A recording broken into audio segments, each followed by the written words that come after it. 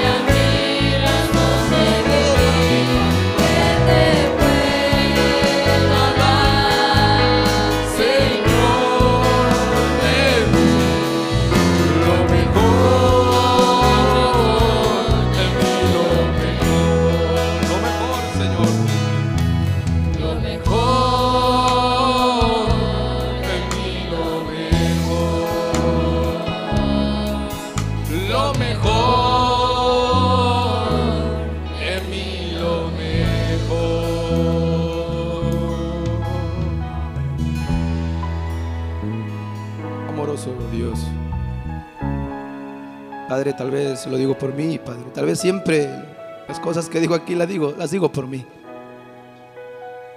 Porque miro el tiempo, Padre. Y a veces siento que, que no estoy a la altura del tiempo que vivo. Porque es un tiempo de rapto. Es un tiempo donde estoy, estoy por ser transformado. Y tal vez, Padre, no veo en mí la desesperación que debiera de estar. Señor, por eso necesito de tu ayuda. Necesito que, que nos ayudes, Padre. El tiempo es crucial. Estamos llegando al clímax. Padre, y tal vez la iglesia no está desesperada como lo debiera de estar. Amado Dios, perdona mis errores, perdona nuestros errores. Eleva nuestra fe, Señor. Nuestra fe tiene que elevarse. Padre, necesitamos nuestra fe arriba.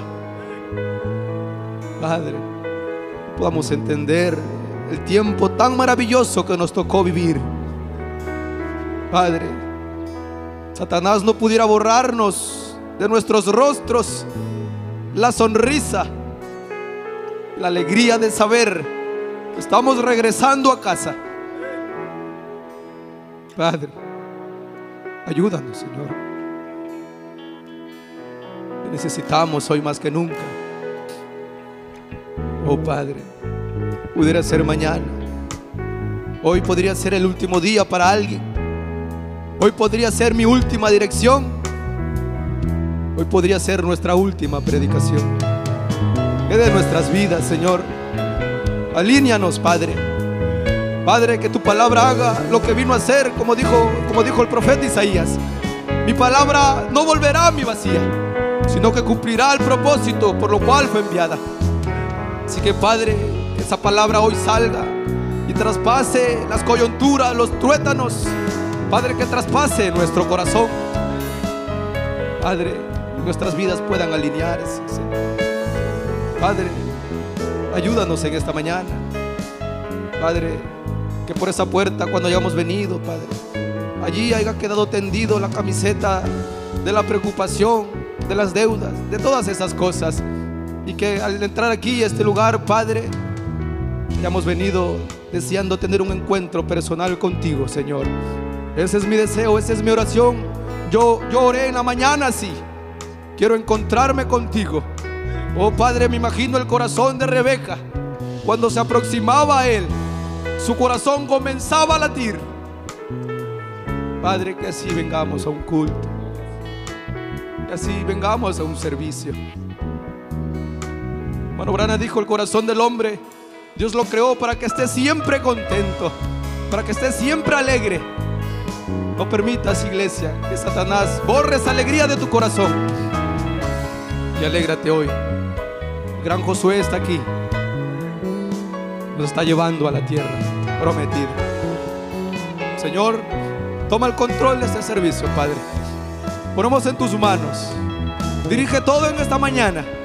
Padre, danos la libertad, Padre, de no mirar el tiempo, de no mirar las circunstancias, de lo que tengamos que hacer mañana. Padre, que podamos entregar nuestro todo en este día, porque podría ser nuestro último día. Permítenos entregar nuestro todo hoy, Señor. Nos ponemos en tus manos. Padre, ayuda a mi hermano allí en el cuarto. Oh Padre, que el ángel del Señor esté allí con él en estos momentos. Revélale tus secretos. Háblanos en esta mañana, porque para eso he venido. Para eso hemos venido, Padre. No hemos venido a perder el tiempo. Venimos a encontrarnos contigo. Ayúdanos, Padre. Fortalece nuestras manos. Anima al desanimado.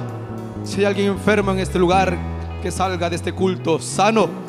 Padre, esas son tus promesas y las creemos, Señor. Padre, nos ponemos en tus manos. Toma el control de este servicio. Los músicos, el diácono, todo, Padre. Nos ponemos en tus manos. En el nombre del Señor Jesucristo, te damos las gracias, Señor. Amén y amén. Gloria al Señor. Puedes saludar a tu hermana. Puedes saludar a tu hermano allí. Dale un fuerte abrazo. Gloria al Señor, aleluya. Oh, el gran Josué está aquí nos está llevando a la tierra prometida. Aleluya. Dios no nos trajo aquí para volver atrás nos trajo aquí para poseer la tierra que nos dio. Dios no nos trajo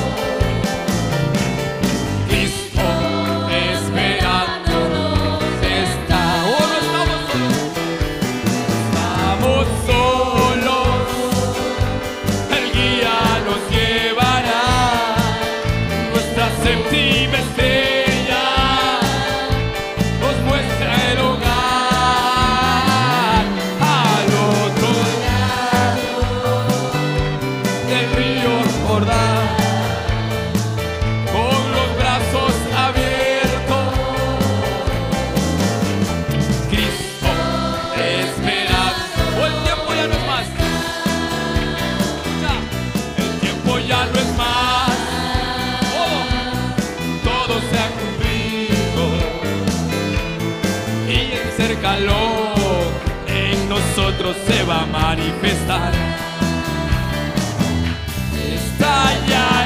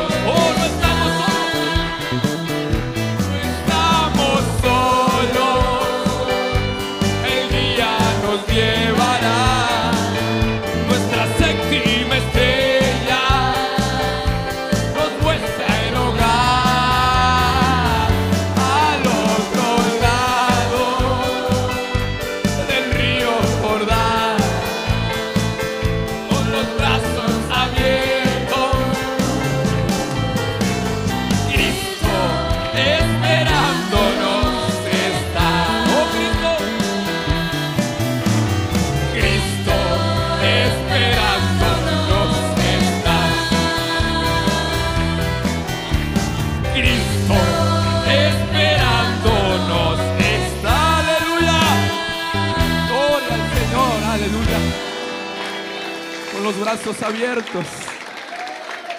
Aleluya. Yo espero ese día y caer en sus brazos. Aleluya.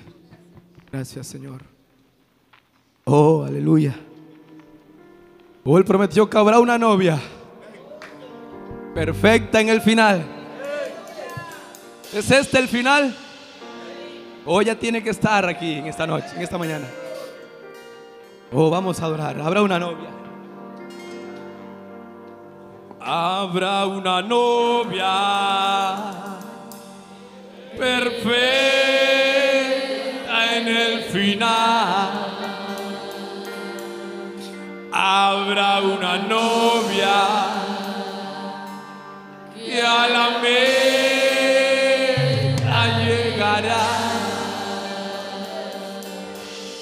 Es la novia palabra redimida por Jesús y parte de esa novia.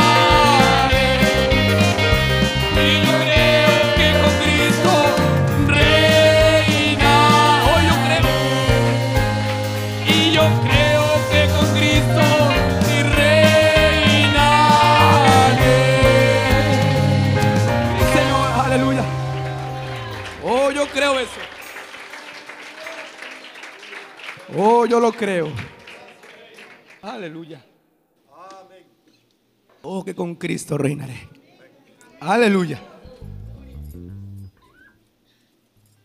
Toma asiento por un momento. Lugar un especial, creo que hay en esta mañana. Hermanos, también pueden pasar a recoger las ofrendas.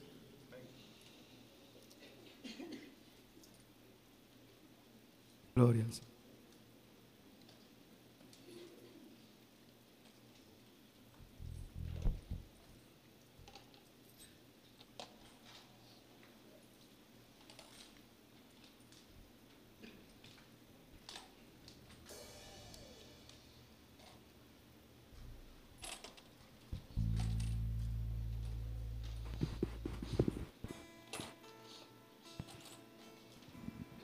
Dios le bendiga, amados hermanos. Tenemos un especial para la honra y gloria a nuestro Señor Jesucristo.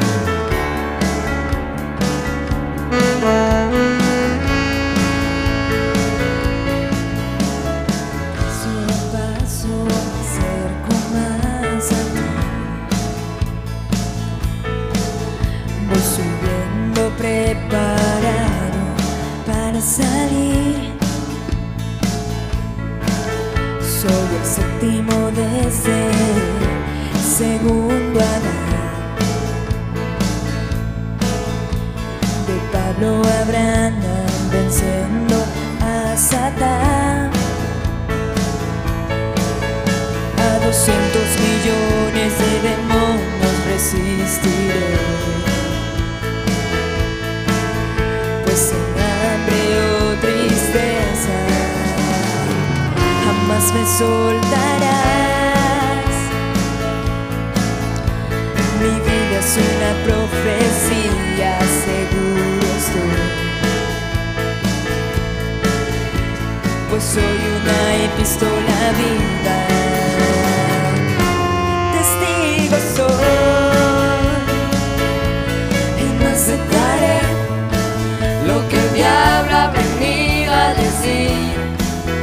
que hace solo mentir.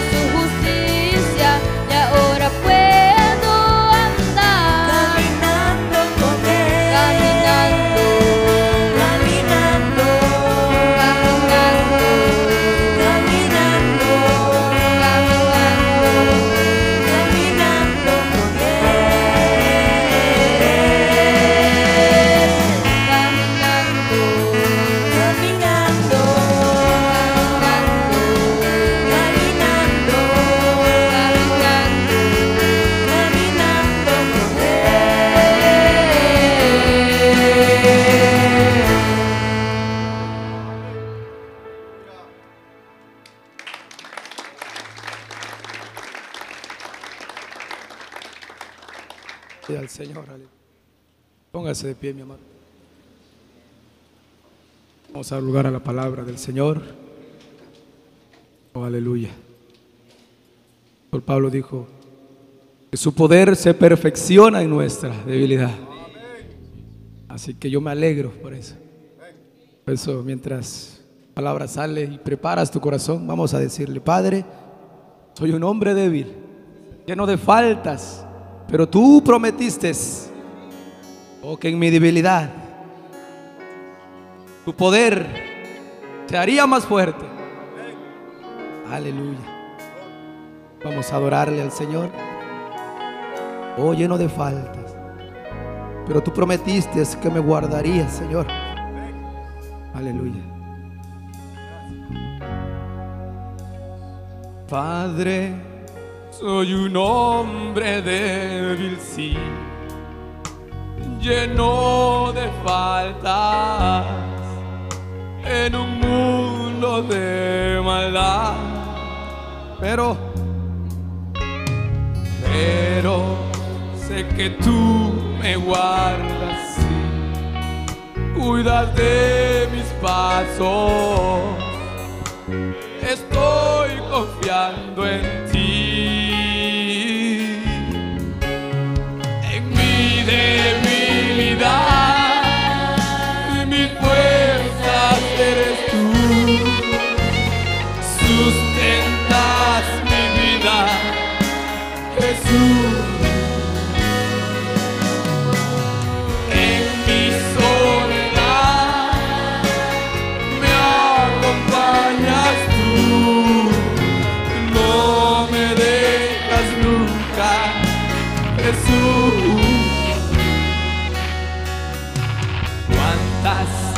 Veces he pasado, sí, por valles de sombras, rodeado de soledad. Oh, cuántas veces, pero has estado conmigo, sí, nunca tú me dejas estoy confiando en ti.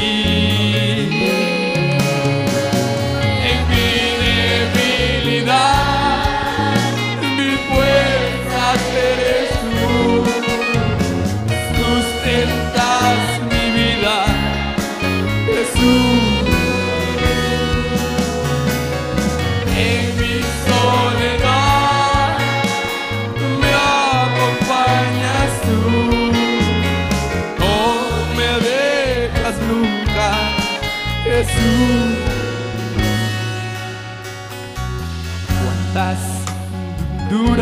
Batallas quedan por pelear, no sé.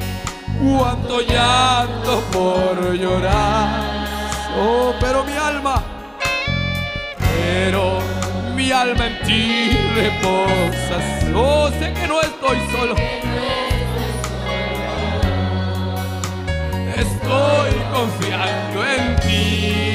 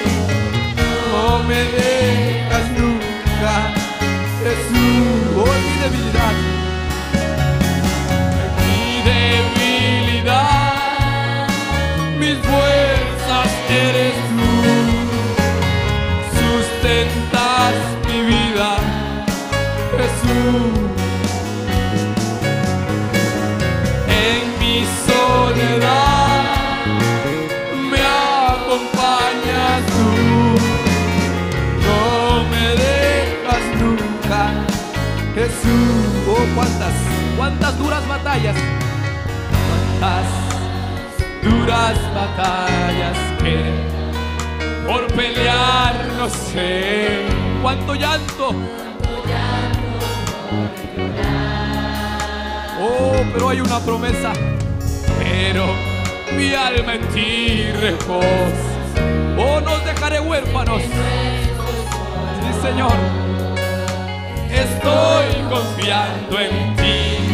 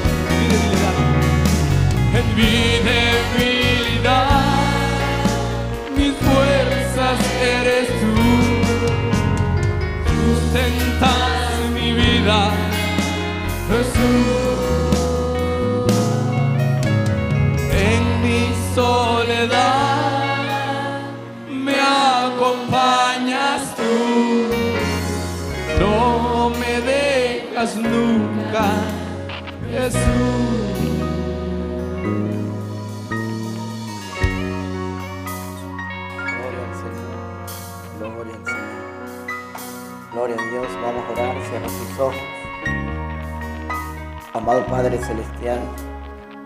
Señor, no nos avergonzamos en esta mañana de, de poder decir que cuán, cuán débil somos, Señor. Un cúmulo, dijo el profeta, lleno de errores y de fallas, Señor. No nos avergüenza eso. Sabemos y hemos sido instruidos que esta carne, Señor, nació así, Padre, hablando mentiras, lleno de sinsabores. En pecado nos ha concebido nuestro Padre y nuestra Madre. Nosotros sabemos eso, Padre. La intrusión de tu palabra nos enseñó eso, Señor. Así que no nos avergüenza decir lo que en realidad es, Padre. Pero que del alma, Señor. Que de algo más allá profundo en esta mañana. Podemos saborear también, Señor, nuestra victoria allí, Padre. Ayúdanos solamente entender un poquito mejor. Para eso venimos, Señor. Para entender mejor tu palabra, las profecías, las promesas que has hecho para nosotros. ¿Cómo estamos caminando? ¿De qué se trata la palabra, Señor? Ayúdanos en esta mañana. Queremos sentirnos así, gozosos, felices, contentos, Padre, de poder estar aquí, Señor, de reconocer tu presencia, Señor, de preparar nuestras vidas para el gran evento, Señor, que está por suceder, Padre. Que tú nos ayudes, Señor, cada día está más cerca. Podríamos decir que sentimos los vientos de tu venida, Señor. Y hemos pasado por la aclamación que nos reunió, nos juntó al lugar del cuerpo muerto, donde las águilas están allí, Señor. Ahora caminando, transformándonos a este cambio de cuerpo, Señor, para después escuchar la trompeta del sube acá, Señor, donde todo habrá terminado, Padre. Manténnos firmes, fieles. Ayúdanos en esta mañana, ayuda a tu siervo. Señor, tal vez uno quiere decir muchas cosas, pero tú tienes que tomar el control, Padre, y decir exactamente lo que necesitamos, Padre. Nos ponemos en tus preciosas manos, Señor, que tú nos ayudes. Estamos contentos, Señor. Gracias. Hemos cantado, hemos adorado. Nos ponemos en tus manos en el nombre del Señor Jesucristo. Amén. Amén. Amén. Amén. Vamos a leer la, la Biblia. No sé si podamos cantar. Tengo tiempo que no canto aquí. Bueno, te canto con... Después de la lectura, no sé si podemos cantar con las hermanas. Babilonia caído. Hoy quiero hablar un poquito, tal vez el martes hablemos un poquito más, eh, pasando los sellos, ¿no? Estas dos mujeres en la Biblia, sabes que en la Biblia hay dos mujeres por toda la Biblia. Está la mujer de Apocalipsis 17, esa es Babilonia, la gran ramera, esa gran ciudad. Y está también la desposada, la esposa del Cordero. Hay dos mujeres en la Biblia. Hemos sido llamados a salir de esa primera mujer, Babilonia. Babilonia en Génesis, dijo el hermano Brana. Babilonia en la mitad de la Biblia, Babilonia al final de la Biblia. No sé si, la, podemos cantar después de esta lectura. Debemos caminar en, en esos conceptos, hermano. Debemos caminar en esa atmósfera. Vas a salir de aquí. Vas a salir. Esta es una Babilonia, va a ser destruida. La puedes ver de diferentes ángulos. Va a ser apedreada, va a ser destruida, va a ser quemada. Y cuán, cuán felices debiéramos estar de saber que hemos, hemos, sido sacados de allí. No estás en Babilonia. Hemos sido sacados de Babilonia. Babilonia es confusión. Tú no estás confundido. ¿Verdad que no estás confundido o sí? Eh, No estás en Babilonia. Tal vez nuestro cuerpo está caminando en la Odisea, pero tu alma está en lugares celestiales. Amén. Esa Babilonia ha caído, está destruida, está caída. No tiene poder sobre nosotros. No tiene una atracción sobre nosotros. ¿Qué te, atrae, qué te atrayera de esa mujer si sabes que es una cueva de demonios? Es como un hombre que pudiera ver a una mujer allá afuera. ¿Qué te atrae de esa mujer? Si es una cueva llena de demonios, solo que tiene un- una fachada, sí está bien una fachada. Solo tiene un vestido bonito por fuera para aparentar algo. Tiene una minifalda, tiene pintura en sus caras. Solo es una fachada para atraerte. Pero la revelación te ha hecho ver que esa mujer es una mujer llena de demonios. Amén. ¿Qué te atrayera de este mundo? Solo son sus fachadas, pero van a ser destruidas. Un pequeño temblor le, daña la fachada. Un pequeño, un pequeño movimiento de la tierra les ha dañado esas fachadas bonitas que le ponen a los edificios. Esta ciudad se está haciendo pedazos. Amén. Según de Timoteo 3. Ah, no sé si cantar o predicar. A mí me agrada esto. Me agrada cuando hay el entendimiento. Porque cantas con entendimiento, hablas con entendimiento, vives con entendimiento. Estamos en lugares celestiales. Olvídese del tiempo, conéctese. Borre su pensamiento, haga un reseteo de ese disco que está pensando en afuera, en afuera. Olvídese de eso. Entre a este lugar celestial. Entre en su presencia, reconozca la presencia del Señor. ¿Qué haría si Jesús estuviera aquí mirándolo a usted? ¿Qué haría? ¿Qué harías si él estuviera sentado aquí, esto fuera un gran monte y él se sentara aquí y te mirara? No tendrías, no tendrías ganas ni de salir. ¿Cómo vas a estar diciendo, Señor, apúrate que me quiero ir a la casa? No estarías diciendo eso. Tú estarías diciendo, Señor, háblanos más. Amén. 3.10, según de Timoteo. Leemos en el nombre del Señor Jesucristo. Pero tú, esta palabra me gusta, amén. Pero tú, ¿quién es ese tú? Amén. Pero tú, dice la Biblia. Qué alegría. Ese soy yo, hermano. Ese soy yo. Pero tú has seguido mi doctrina. Amén. Ese soy yo. Has seguido mi conducta. Amén. Mi propósito. Mi fe. Mi longanimidad. Mi amor. Mi paciencia. Persecuciones y padecimientos como los que me sobrevinieron en Antioquía, en Iconio, en Listra, por donde caminara. Hay persecución por todos lados. No importa si en Antioquía hay una iglesia, todavía hay persecución. No, no importa si en Iconio hay iglesia, todavía hay persecución. No importa si en Listra todavía hay iglesia, Él siente persecución, amén. Persecuciones que he sufrido y de todas. Amén. No importa qué tipo de persecución. No importa si hay persecución. Lo importante es esto, de todas me ha librado el Señor. Si fue el COVID, te ha librado el Señor del COVID. Si fue hambre, Dios te ha librado de eso. Si es necesidad, Dios te ha librado de eso. De todas me ha librado el Señor. ¿Quieres vivir esta vida? ¿Quieres esta clase de vida? Y también, asegúrate esta mañana, ¿es- esta clase, esta es la vida que quieres. Y también, todos los que quieren vivir esta clase de vida. ¿Quién quiere vivir esta clase de vida? ¿Eh? ¿Eh? Piénsalo bien en esta mañana. ¿Quién quiere vivir esta clase de vida? Porque también todos los que quieren vivir piadosamente en Cristo Jesús padecerán. Así que este no es un hombre aislado por ahí, no, este es un hombre de la familia. Amén. Este hombre es parte de nosotros y nosotros somos parte de él. Y también todos los que quieren vivir piadosamente en Cristo Jesús padecerán persecución. ¿No sientes la persecución o crees que no estás siendo perseguido? Sí, para los varones, si una señorita viene y lo, y lo comienza a tentar, esa es una persecución. Sí, sí, si viene y- y pierde el trabajo, es un tipo de persecución. Si viene la enfermedad, es otro tipo de persecución. Porque quieres vivir esta clase de vida. Amén. Mas los malos hombres y los engañadores irán de mal en peor, engañando. No solo que están engañando, sino que están siendo engañados. Pero persiste tú. Persiste, inténtalo otra vez. Persiste, inténtalo otra vez. Tú, tú, el que escogiste esta clase de vida. Persiste tú. No importa si los hombres están engañando. No importa si están siendo engañados. Pero tú, hermana, tú, hermano, persiste tú en lo que has aprendido y te has persuadido, te persuadiste sabiendo de quién has aprendido. Tome asiento. ¿Sí van a cantar las hermanas? Vamos a disfrutar. Ya, ya la palabra está ahí. Usted sabe ya el concepto de lo que queremos hablar ya. Ayúdenle los hermanos del audio para las hermanas.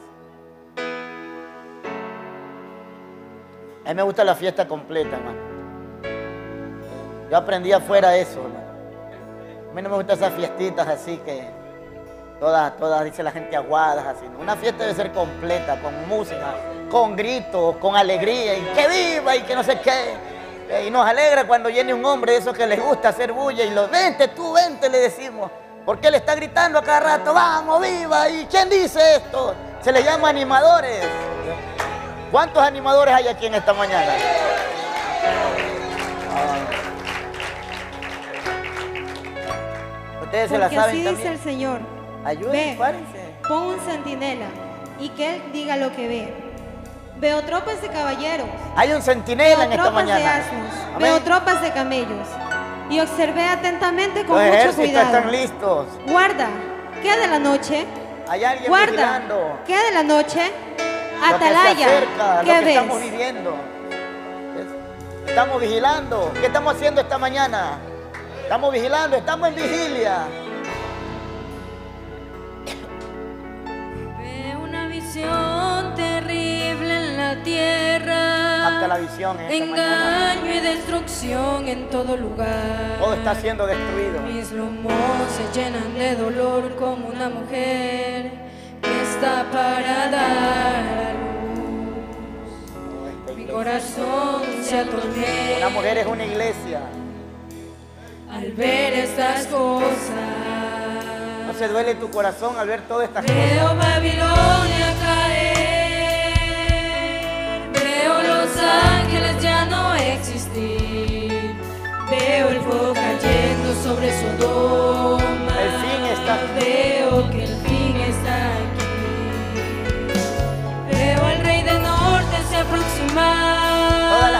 juntándose. aquí que vienen carros y hombres. La escritura en la pared está. La escritura, la profecía ya está Por la dicha. voz del Entiende la profecía.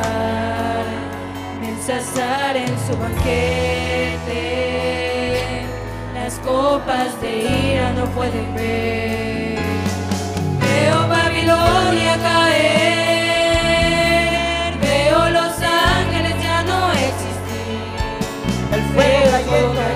Sobre. Sodoma. Entiende que el fin ya está aquí.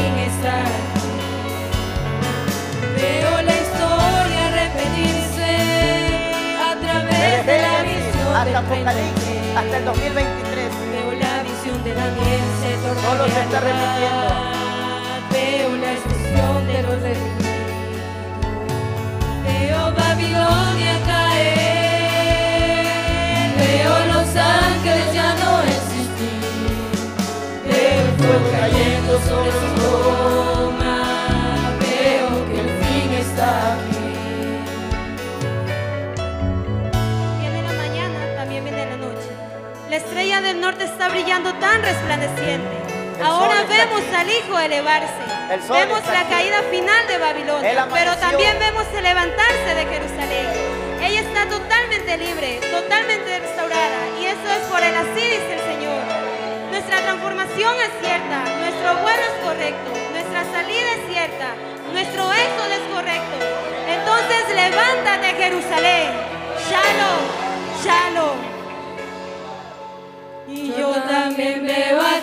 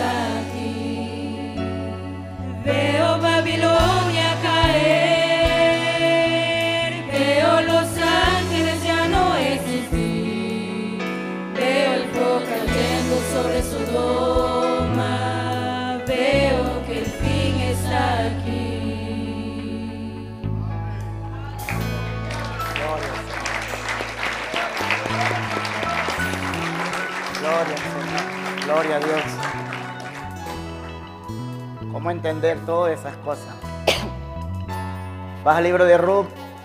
Yo le estaba diciendo ahí fuera del país, estaba predicando diciéndoles cómo, cómo esa mujer, cómo esa iglesia es profecía desde los pies hasta la cabeza. Ella conoce de profecías, aunque ella todavía no entiende las profecías. Pero ella habla de profecías aún sin entenderlas. Ella está fuera de, fuera, fuera de voz, ella está fuera del campo, ella está fuera de eso y ella le está diciendo a Noemí, ella le está diciendo, tu pueblo será mi pueblo. Es- Eso no podía, eso no, no tenía entendimiento, eso no tenía explicación, porque ella era gentil. No hay ninguna manera que ella puede ser judía, no puede comprar, no puede comprar la nacionalidad judía, todavía sigue siendo gentil. ¿Ves? Aunque se la regalen, a- aunque hagan lo que haga, ella no podía ser judía. Pero ella está diciendo una profecía en la Biblia. Ella está diciendo, tu pueblo va a ser mi pueblo. No conoce a vos, no está en los campos de allá de, de vos, no ha hecho nada todavía, pero ya está hablando profecías. Ya está hablando de profecías. Todavía no ha entrado en las profecías y ella habla de profecías. Tu Dios era mi Dios. Ella conoció puros dioses paganos allá. Ella escuchaba de un Dios que le hablaba el esposo, pero ella conocía a otros dioses. Ella no conocía a, a vos, pero ya hablaba de profecías. Tu Dios será mi Dios. Tu pueblo será mi pueblo. Iré a esa tierra donde tú mueras, yo moriré allí contigo. Seré enterrada contigo, andaré contigo. No habrá una separación, vamos a juntarnos. ¿Cómo va a hacerse? Noemí no podía explicárselo, ella tampoco, era profecía. Desde los pies hasta la cabeza. Cuando yo dije eso, la novia es profecía de los pies a la cabeza, esa gente brincó, hermano. Esa gente saltó y aplaudió, hermano. Estaban, estaban concibiendo otro tipo de lenguaje para ellos. Está hablando de nosotros. No importa que yo no entienda un poco de cosas en la Biblia, pero las puedo hablar, las puedo cantar, puedo caminar en eso, puedo vivir en eso.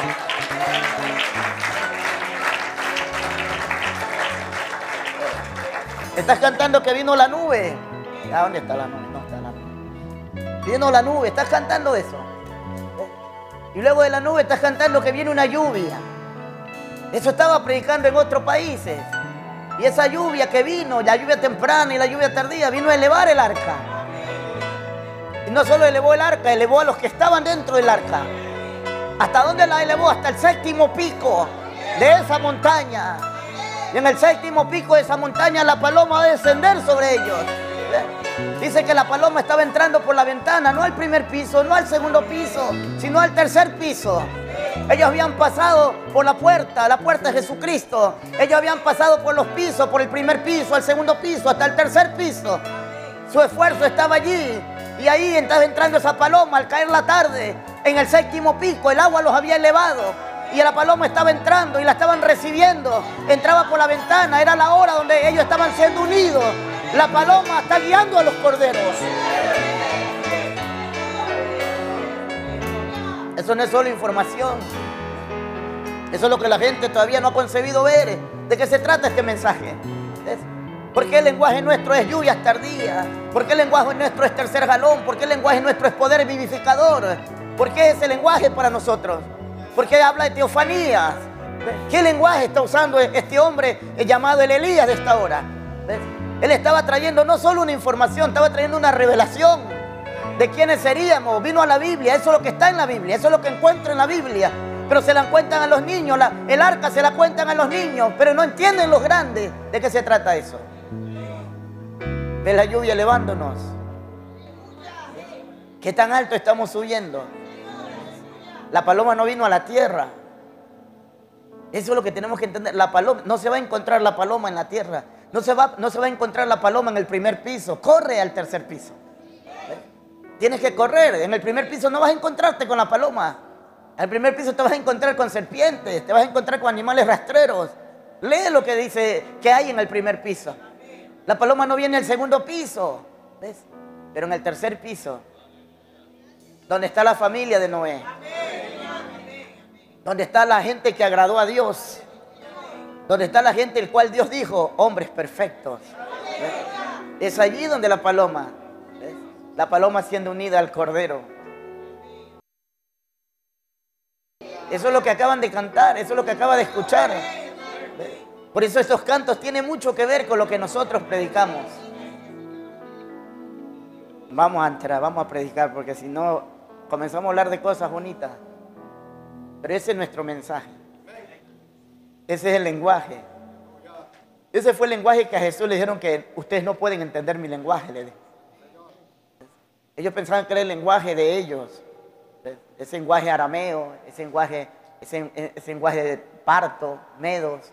Él pensa- ellos pensaban que era ese lenguaje. Él estaba hablando de otro lenguaje. Por eso es que hoy tienen discusiones. ¿Será, será que el griego? ¿Será, hermanos, que me aprendo el, el- el hebreo? ¿Será que me pongo un kipá? ¿Será que no entienden el lenguaje? Dios tiene un solo lenguaje. Se llama revelación. ¿Ve? Cuando alguien le dice, hermano, ¿cuál es el lenguaje de Dios? Usted tiene que decir, es revelación. ¿Usted conoce el lenguaje de Dios? Sí, Señor. ¿Qué es? ¿Hebreo? ¿Griego? No, ninguno de esos. ¿Español? ¿Es inglés? Ninguno de esos. Amén. Estamos leyendo 2 de Timoteo 3. Hoy el tema nuestro es, estamos hablando de monología en el alma. Vamos a darle otra parte. Todavía queda más parte. El martes trataremos de traer ya sobre los sellos. Pero hoy quiero agregar un poquito más. De, este, de este tema, tratando de ver cómo la palabra ha llegado al alma. Porque si no ha llegado la palabra al alma, te ha llegado otro espíritu a tu alma. Amén. Ya, ya explicamos un poquito eso, del, ser triple del hombre. Amén. El cuerpo, el alma, el cuerpo, el espíritu y el alma.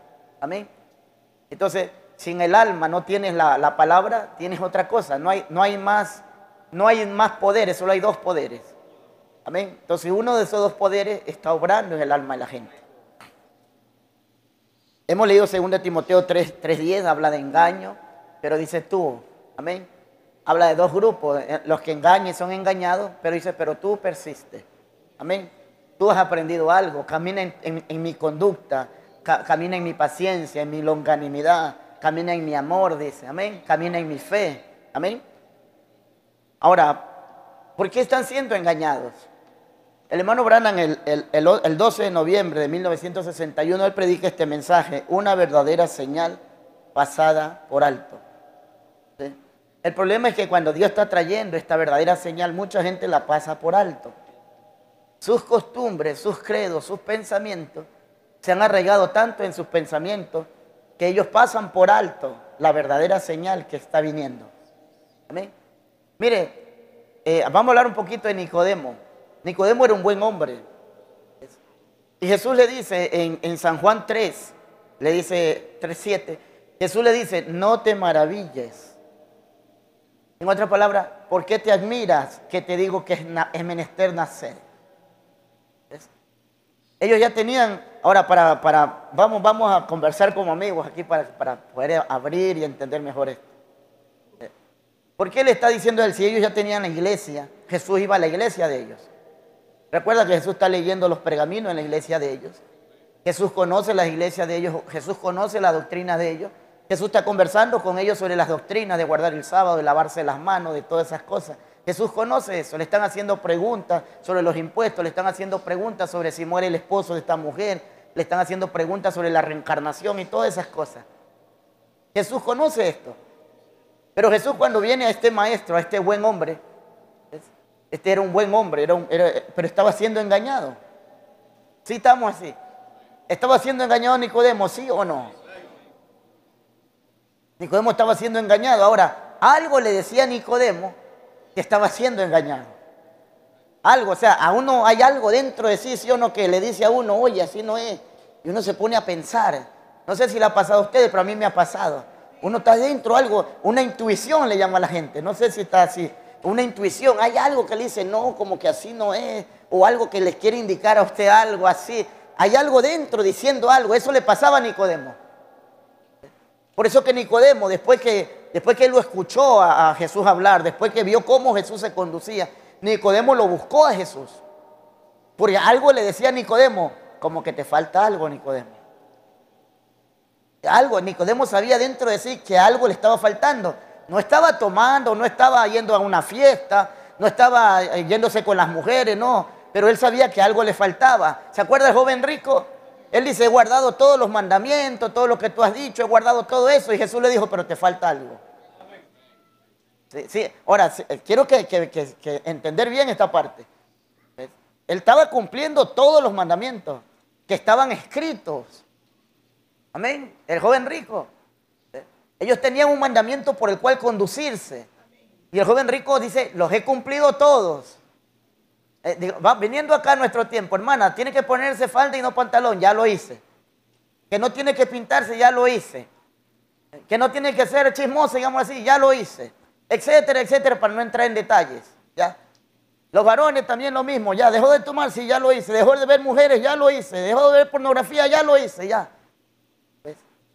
Estamos hasta ahí. ¿Está completo con eso? Eso es lo que le está, en eso estamos entrando. Eh, ahí viene el punto donde mucha gente, mucha gente, sin decir quiénes, y mucha gente ya ha cumplido todo eso. Y viene a la iglesia y ha cumplido todo eso. Y aún se lo están recalcando. Cuidado, hermana, cuidado, hermano. Pero, pero viene Jesús y le dice, pero.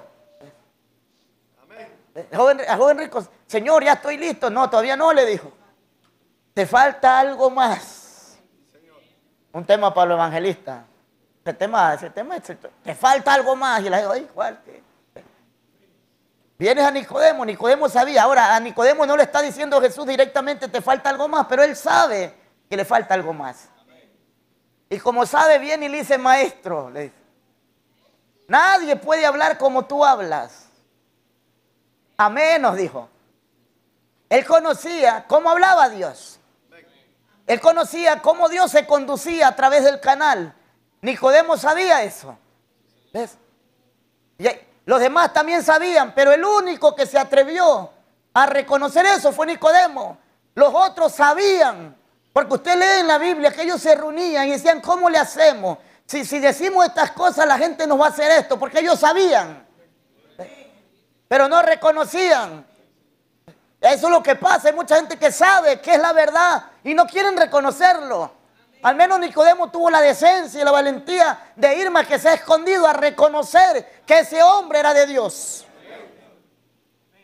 Porque fue de noche, dijo el hermano Branham, y fue escondido. La Biblia también lo dice. Y cuando se encontró con Jesús, le dijo, maestro, sabemos que tú vienes de Dios. Nadie puede hablar así si Dios no está con él. Si ese era el hombre de Dios, entonces, ¿por qué no obedecía? ¿Ves que estaba siendo engañado? Estaba confrontando a la verdad, pero él estaba creyendo una mentira. No importa qué tan bueno era, todavía seguía siendo engañado. Si estamos en el punto.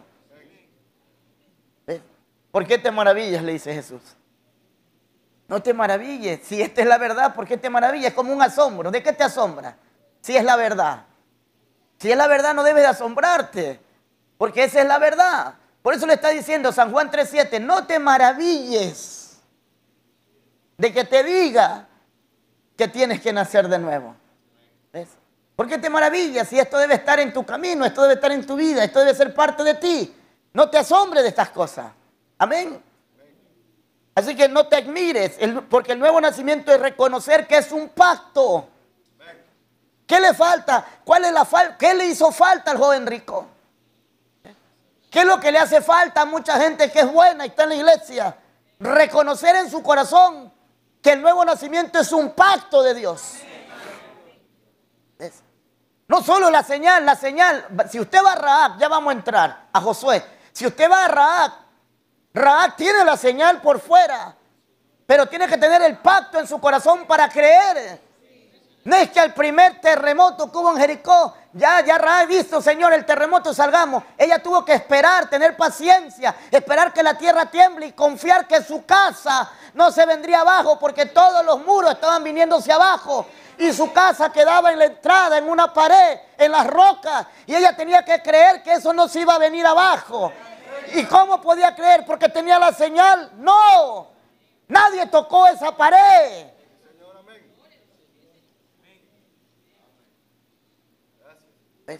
Me gusta hacer la pausa para que dijera. Lees bien la Biblia. Tocaron las paredes, no tocaron las paredes. Como para decir, esto sí toco, esto no lo toco. Así, no fue así.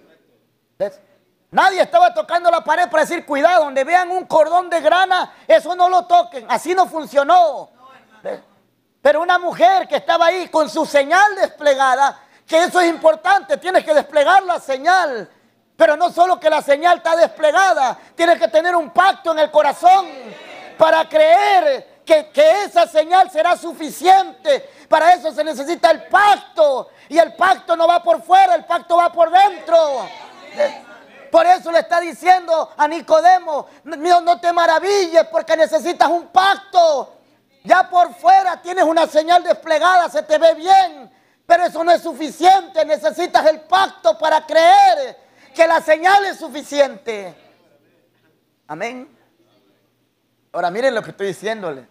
Hay dos cosas que estamos viendo en esta mañana. Una cosa es esto, la señal. Usted puede ver la señal. A ver, miren ahí la señal. Es roja, ¿no es cierto? El cordón de grana era rojo, escarlata. Porque el rojo significa que tiene como, como anuncio de peligro, que puedes verlo de lejos. Si ha visto cuando ponen esa- esas franelas rojas, anuncia algo. La señal está desplegada, la señal es vista, es verdad. Pero cuando usted va a Josué, vamos un ratito a Josué. Josué 2. Un pacto es una obligación, un pacto es un acuerdo. Te espero que esté conectado, hermano, usted. Os ruego pues ahora que me juréis, ese es un pacto. Eso es un pacto, quiero que me jure. Es un, es un pacto de vida o muerte, ella lo sabe. Por eso que cuando cantamos estas cosas, el que no entiende, por eso que vive cualquier clase de vida, porque no entiende que es de vida o muerte. Mire, la tierra tembló, la gente estaba de rodillas y en la noche estábamos viendo, ¿qué estábamos viendo en la noche? Tremendas parrandas, está bien parranda. Tremenda fiesta, ni, dejar, ni nos dejaban ni pasar en nuestra propia casa. Pedirle de favor, ¿puedes el favor de dejarme pasar a mi casa? Pero en la mañana, en la tarde, ¿qué estaban? De rodillas. Clamando a Dios, Señor, Señor. De rodillas y de noche, ¿qué estaban? ¿Te das cuenta que la gente no entiende? ¿Ves?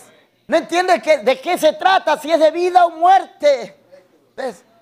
Por eso ella está, ella entendió. Esta mujer está entendiendo que, que esto se trata de vida o muerte y que necesita un pacto. ¿Ves? No es solo una señal para que no la toquen, cuidado, no la toquen, no, necesita una seguridad. No solo es la señal, la señal es buena, porque ellos le dijeron, pon la señal, que identifique que tú eres parte de ese pueblo. Pon la señal para que te identifiques con ese pueblo, pero tenga el pacto para creer que Dios te dio una promesa. La señal es solo para identificarte. Es como decir, a ver, todos los que son de rojo levantes y los de rojo se levantan, porque ellos tienen la señal y la señal identifica el rojo para que para hacerme entender. Pero no todos los que están de rojo, ahora no solamente que los que están de rojo, los de rojo, ¿cuántos tienen ese pacto? ¿Cuántos están seguros en su alma que Dios va a cumplir esa promesa? Amén. Pero, pero estar eh, Josué 2. Estamos leyendo. Os ruego pues, ahora, que me juréis por Jehová. ¿Eh? Júrenme, hagamos un acuerdo. Hagamos un pacto. Hermano, esto es maravilloso porque ese, ese acuerdo, ella sabe que hay un canal por el cual Jehová va a actuar. El pacto lo van a hacer con hombres. Hoy, hoy, si usted se muriera, usted tiene que tener ese pacto en el corazón de que un hombre le juró a usted que usted iba a resucitar. Y usted muere con esa confianza, esa promesa, porque lo escuchó a través de labios humanos que Dios tiene una resurrección. Y usted muere con ese pacto en su corazón, no solo con la señal. Cuando usted caminó en la tierra, usted caminó desplegando la señal. Todo lo que usted demuestra es desplegar una señal que se puede ver, que usted está desplegando esa señal. Pero usted no solo está desplegando la señal, usted necesita ese pacto. Y si usted muriera, usted muere con ese pacto. Júrame, júrame. ¿Ves? Júrenme por Jehová. Usted, predicador, por eso, hermano Brandon dice, los predicadores tienen que haber nacido de nuevo. Porque ellos tienen que jurar ese pacto al pueblo. Porque el pueblo tiene que confiar en lo que ese predicador va a decir. Porque ella le está preguntando a dos hombres enviados por Josué. Y son esos hombres los que están jurando el pacto con esa mujer. Júrenme por Jehová. Y ellos están jurando en representación de Jehová.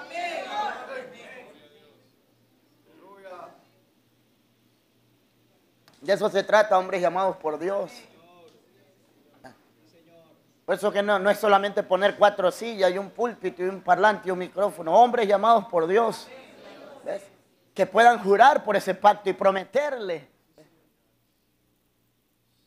Que me juréis por Jehová que como he hecho misericordia con vosotros, así la haréis vosotros con la casa de mi Padre. Bueno, si, si nos centráramos en la escritura, ah, ¿son ellos los que van a destruir toda esa ciudad? ¿Cómo sabe ella? Ella está, ¿sabe lo que está diciendo ella? Ustedes van a destruir la ciudad. Si ellos no entendieran, ellos pudieran, es un momento que nosotros no vamos a destruir nada. Hermano, este es revelación.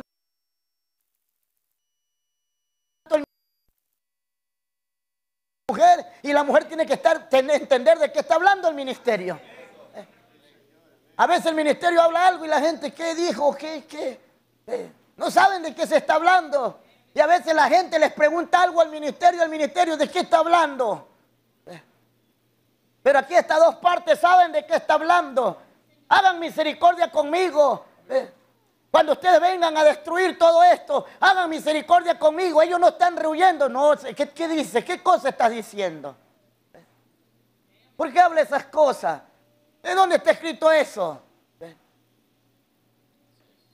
Sí, es verdad, no estaba escrito, pero ellos estaban escribiendo la Biblia. El ángel va a darle, el ángel va a darle instrucciones a Josué. Le va a decir cómo. Eso es en el 5. Ahorita estás en el 2. Y ella, ella, quiere, quiere entender, ella, ella, ella tiene profecía tras profecía. Ella es una mujer de profecías en esa hora, porque en el 2 está diciendo cosas que el ángel todavía no ha hablado. Eh, disculpe que los lleve así tan. ¿Cuándo el ángel le va a decir a Josué cómo hacerlo? Paseamos bíblico. ¿Dónde va a hablar de las instrucciones del ángel? En el 5.12 al 14. Hazlo así, hazlo así, hazlo así, hazlo así. Es en el 5. ¿De qué está leyendo usted ahorita? ¿En el 2 o en el 5? ¿Y el 2 es antes del 5 o no? Esta es la Biblia. El problema es ese, cuando no se sabe caminar en la Biblia. Pero ella en la Biblia está diciendo cosas que han de ser, cosas que van a venir. Está hablando de profecías que se van a cumplir. Está hablando de profecías que no están ni escritas, pero están en su corazón. Porque el alma fue hecha antes que la Biblia fuera escrita porque ella es la palabra, el alma es la palabra. Si vino como palabra, ella sigue siendo la palabra.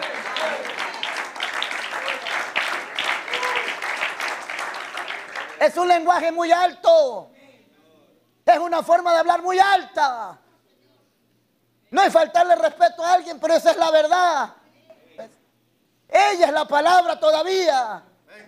Dijo el hermano Branham, traímos amnesia no nos acordamos de eso, pero ya éramos la palabra, la palabra envuelta en vasos de barro, que no se acuerda qué era la palabra, pero que caminando en la tierra tiene esta mujer que todavía dentro de ella da destello de esa palabra y está diciendo, quiero que me jure, hazme un pacto. Ella sabe que ese pacto no puede ser quebrado. No importa si se lo, dije, se lo dejaron dos hombres. No importa que, cuál era el vaso que tapó el que va a hacer el juramento. Porque sabe que el juramento no lo hace un hombre. Porque el juramento de un hombre no sirve. Pero un día tienes en la Biblia que se paró y no habiendo por quién más jurar, juró por sí mismo. Y ese espíritu está caminando en vasos de barro. Ella sabe que la promesa no se la va a hacer un hombre. Ella sabe que si esos hombres son llamados de Dios, tienen que hablar de la promesa de Dios. Ellos no pueden jurar por algo que Dios no ha dicho. Si usted me pregunta, hermano Juan, júreme que el Espíritu Santo es para mí. Yo se lo juro en esta mañana porque es una promesa. ¿Ves? Y así que como he hecho misericordia con vosotros, así la haréis vosotros con la casa de mi Padre. Le está diciendo, oiga, tengan misericordia con la casa mía. De lo cual me daréis una señal segura. Está hablando de la señal y del pacto.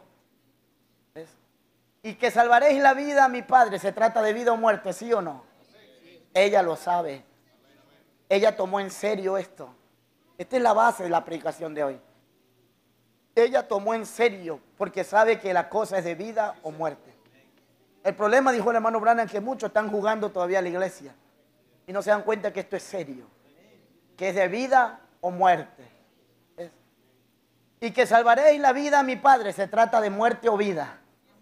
A mi madre, a mis hermanos y hermanas y a todo lo que es suyo. Y que libraréis nuestras vidas. ¿De qué dice? De la muerte. Así que es de vida o muerte. Ra, ra- ra- es de vida o muerte en esta mañana. Amén. Así que les habló de una señal siendo desplegada, pero también había un pacto dentro de su corazón. ¿Ves? Por eso que cuando regresas a Nicodemo, Nicodemo no tenía el pacto. Citamos, no conocía de ese pacto. ¿Ves? Amén. Poder de transformación, párrafo 177. Porque la palabra está produciendo resultados. Porque no se trata solo del hermano Juan que hable la palabra, que hable de la palabra. Pero la cosa es que tiene que producir un resultado. Cada palabra produzca. Eso es Génesis 1.11. Cada palabra produzca según su género. ¿Ven? Puede engendrarse una vez. Y la iglesia puede convertirse en organización una vez. Pero no se puede volver a reproducir. ¿Ves? Eso produce otra organización. El luterano no puede engendrar con el luterano. Muere ahí. Eso produjo al metodista. Y el metodista produjo al pentecostal. ¿Ven? Eso no puede volver a engendrar. Porque está muerto. Eso no puede dar inicio a un avivamiento. Porque cada vez que se reproduce muere porque no es la palabra. Porque la palabra tiene que reproducir según su género. ¿Sabe lo maravilloso de esto? Que después de esto no puede haber otra reproducción. Con nosotros muere. con nosotros termina. No hay otra reproducción. De los pentecostales lo que vino fue un mensaje y del mensaje no va a haber otra reproducción. Ahí muere ya. Y de, ese, de esa parte es donde tiene que haber alguien que reproduzca según su género. Alguien que pueda producir la vida de ese mensaje. Porque también habrá la organización de ese mensaje. Así que hay dos grupos del mensaje.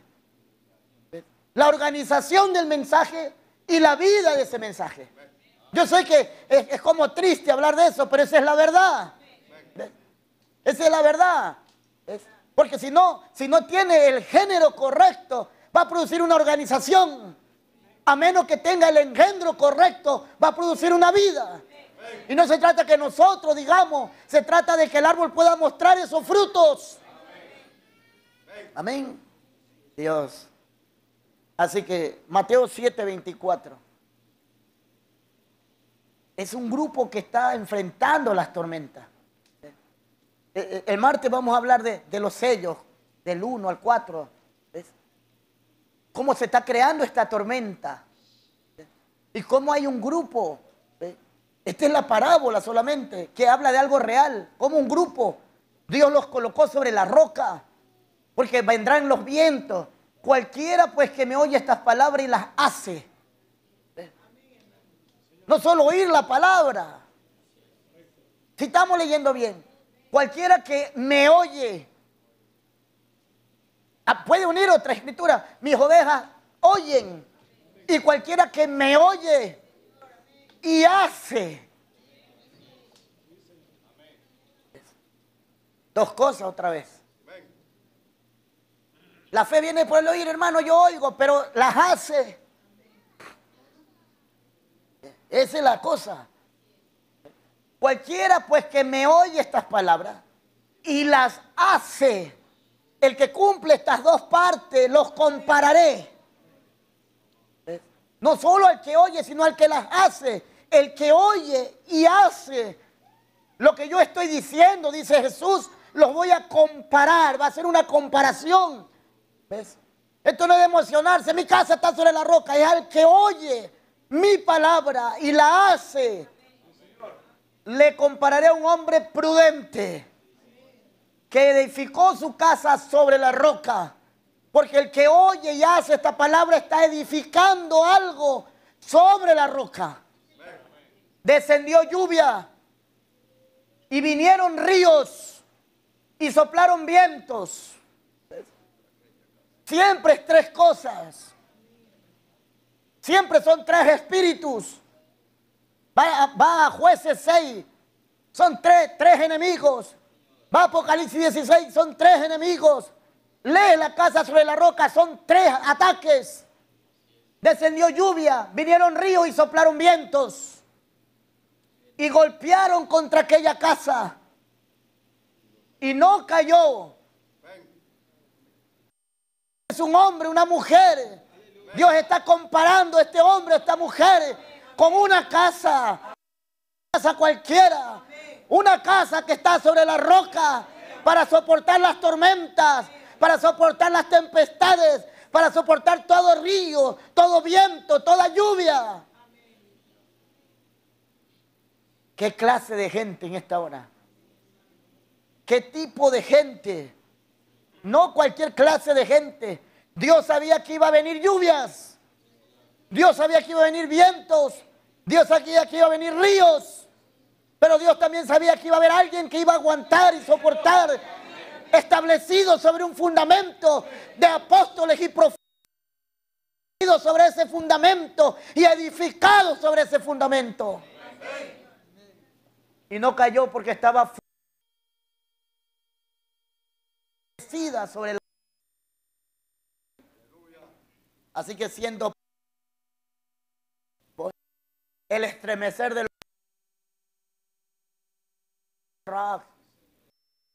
cuando leemos de Raab no, no, no caemos en cuenta que eso no fue que duró como 10 segundos ya.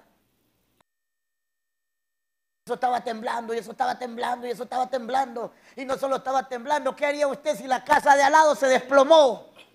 Usted está en su casita contento y está moviéndose y uy, se está moviendo. Ya hasta ahí usted dice, bueno, Dios mío, usted comienza a orar desesperado, asustado. Pero qué más susto cuando ve que al lado, ¡pah!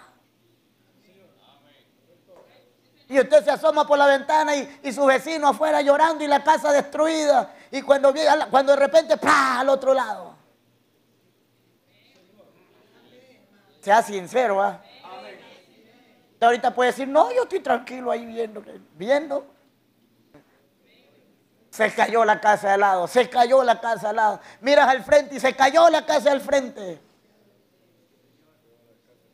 ¿Cómo estaría el corazón de Raak, hermano?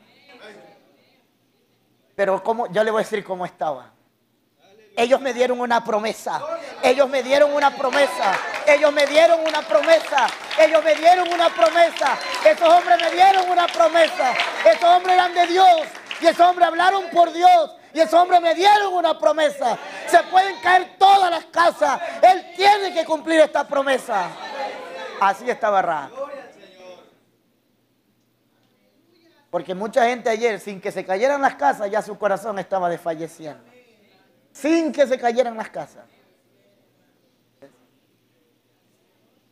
Sí, porque mucha gente seguía, ay hermano, y ahora, y ahora que yo estaba durmiendo.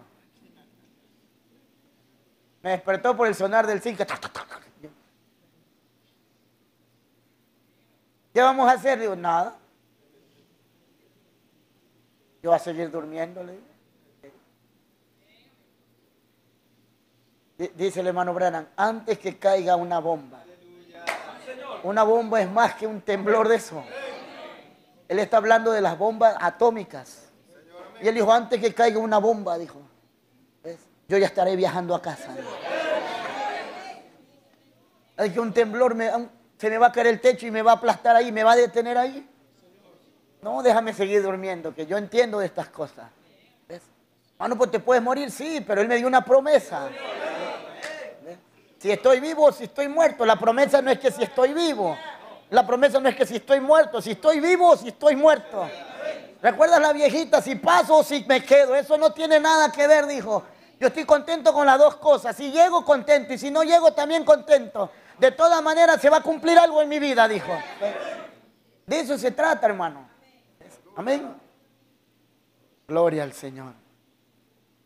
Así que esos muros de Jericó estaban estremeciéndose. Josué 2. Probando no la señal. ¿Cómo iba a probar la señal si ella ya tenía la señal? Tal vez la señal pudiera ser probada cuando, cuando no esté puesta. Mira ahí, no está puesta la señal. Ahí pudiera ser, vamos a probar si la señal está puesta. No, no, no se estaba probando la señal. La señal ya estaba puesta, léalo. Ya la señal estaba ahí. Por eso el problema es que si la Biblia nos diera más detalle entenderíamos mejor. Pero es que era por revelación. Porque ahí no dice qué tiempo pasó para que los muros se cayeran. Porque si hubiera sido 20 segundos, tira 20 segundos de terror, diríamos nosotros. Porque si da miedo, si da terror que usted vea todo eso moverse. No, no se haga el valiente, que no usted no, no, sí, sí da miedo. Usted ve, parece que a la casa se le viene para acá, usted se hace para acá. Parece que la casa se va para allá, usted se hace para acá.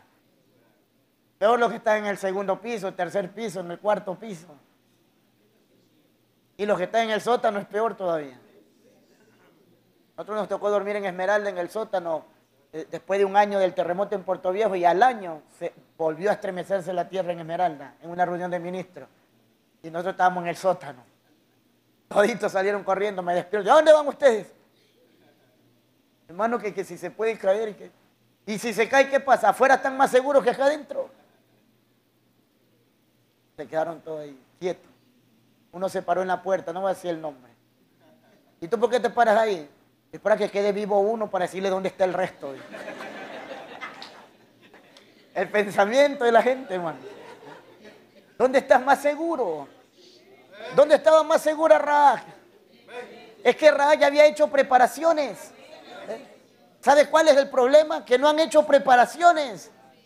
Raag, Raag se aseguró de tener todas las preparaciones listas. Por eso es que Raag, no importa cuántos segundos de terror hubo. Raag no solo estaba confiando en la señal, Raab podía estar tranquila en su casa. ¿Por qué podía estar tranquila? Porque hay una promesa, descansa. Descansa, tú no tienes que hacer la obra. Tú no puedes detener un temblor, un terremoto, no puedes hacerlo. Pero sí puedes descansar. ¿Descansar en qué? Descansar en la promesa, descansar en el pacto, descansar en ese pacto en tu corazón que Él te hizo a ti. Yo te guardaré, yo te protegeré, yo estaré contigo, yo caminaré contigo. Yo seré tu Dios, tú serás mi pueblo. Yo responderé por ti. Ese es el pacto, el pacto incondicional con los hijos real de Abraham. El pacto incondicional. Allí descansaba esa mujer. No solo la señal, la señal estaba en su ventana, pero el pacto estaba en su corazón. Hicieran 20 minutos, 20 segundos de terror, 30 segundos de terror o el tiempo que fuera, ella descansaba en un pacto. Y no importa si, si faltan un año, seis meses, dos años, diez años, donde descansa nuestra promesa, el pacto que Él ha hecho con nosotros, guardado en el corazón.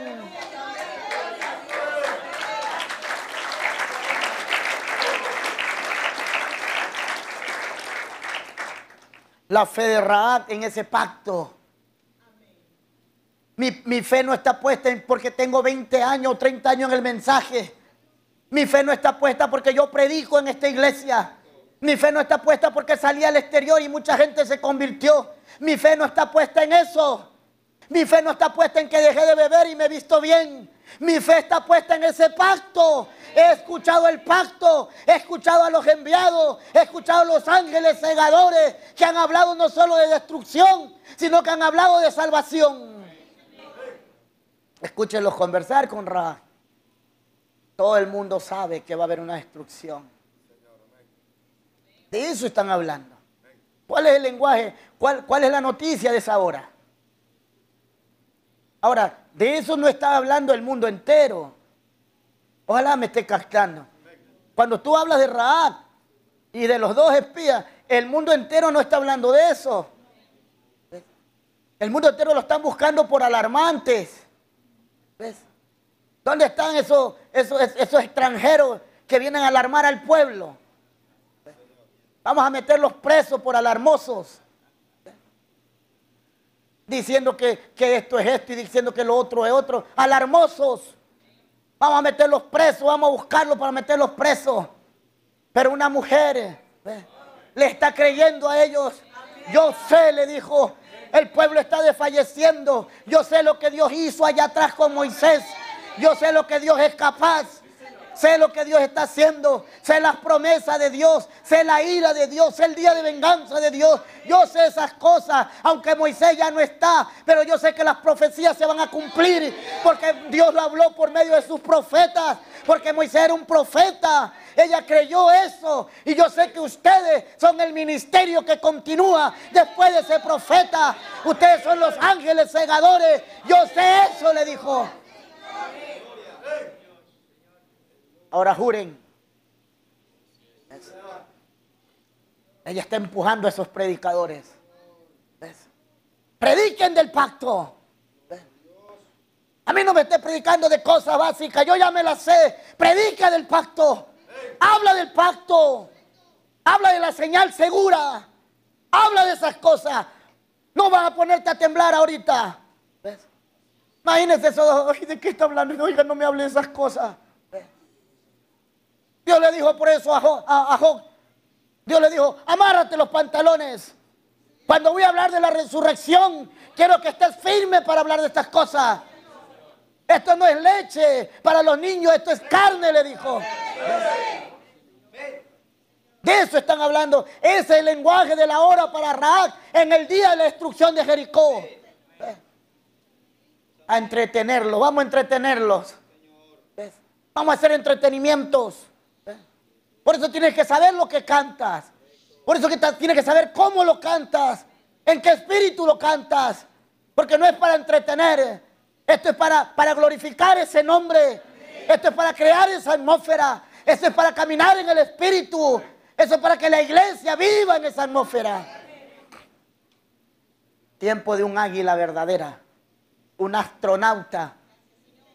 Nos agrada hablar de astronauta solo como, como algo, algo que alegre nuestras vidas. No, había una verdadera astronauta, una verdadera águila.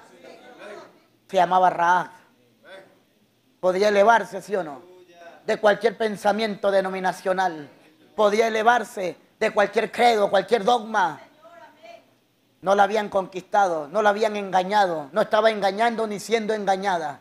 Pero tú persiste en lo que has aprendido de nosotros. Anda y persiste. Amén. Oh, los muros de Jericó probaron la fe de esa mujer. El pacto. Ese era el tiempo de un águila verdadera cruzando el abismo de separación que había. No me voy a tomar mucho tiempo, solamente vaya para allá. El pueblo de Israel estaba separado de Dios, ¿sí o no? ¿Sí o no? ¿Sabe la escritura? ¿Por qué estaban esclavos en Egipto? Estaban separados de Dios por cuántos años? 400 años. 40 años después, 440 años, Dios está cumpliendo una promesa. ¿Qué está haciendo Dios? Acercando al hombre y a Dios. ¿Qué estaba haciendo Dios? Iba a traer a Raab de Jericó a Canaán. ¿Qué está haciendo Dios con este Israel espiritual? Ese era el Israel físico. ¿Qué está haciendo con Israel? Usted el Israel espiritual. ¿Qué está haciendo con Israel espiritual? Estábamos separados de Dios. ¿Cuánto tiempo? Casi dos mil años de la cruz. No había manera de acercarse Dios y el hombre.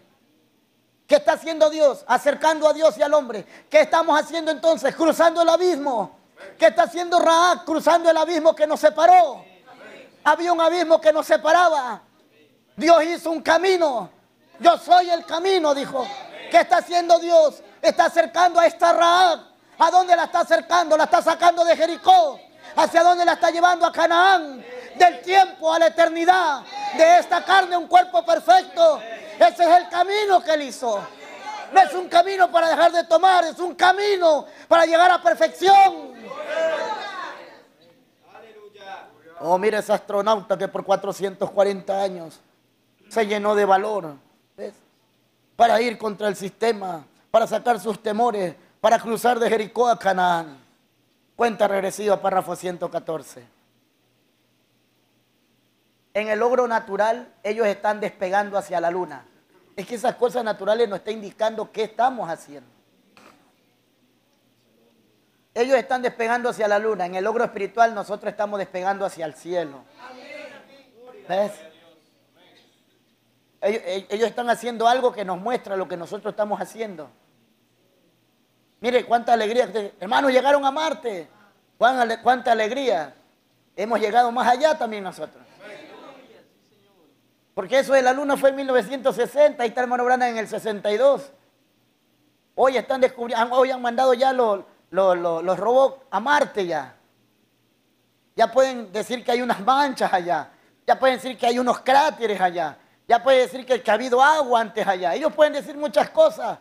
Han ido más allá todavía que de nosotros. Ellos no se quedaron en el 62. Esa máquina del 62 ya es obsoleta. Yo fui a un, museo allá en Bogotá y ahí tienen una, un, pedazo de cohete antiguo. Eso ya no vale. En el 62 ya no vale eso. Pero ellos, ellos se modernizaron. Ellos tienen algo mejor ya. ¿Nosotros qué? Dios no tiene que habernos llevado más allá también. No, nos quedamos en el 62. Nosotros tenemos un cohete obsoleto ahí. No es eso. Dios nos llevó más allá también. En el logro natural ellos están despegando hacia la luna. En el logro espiritual nosotros estamos despegando hacia el cielo.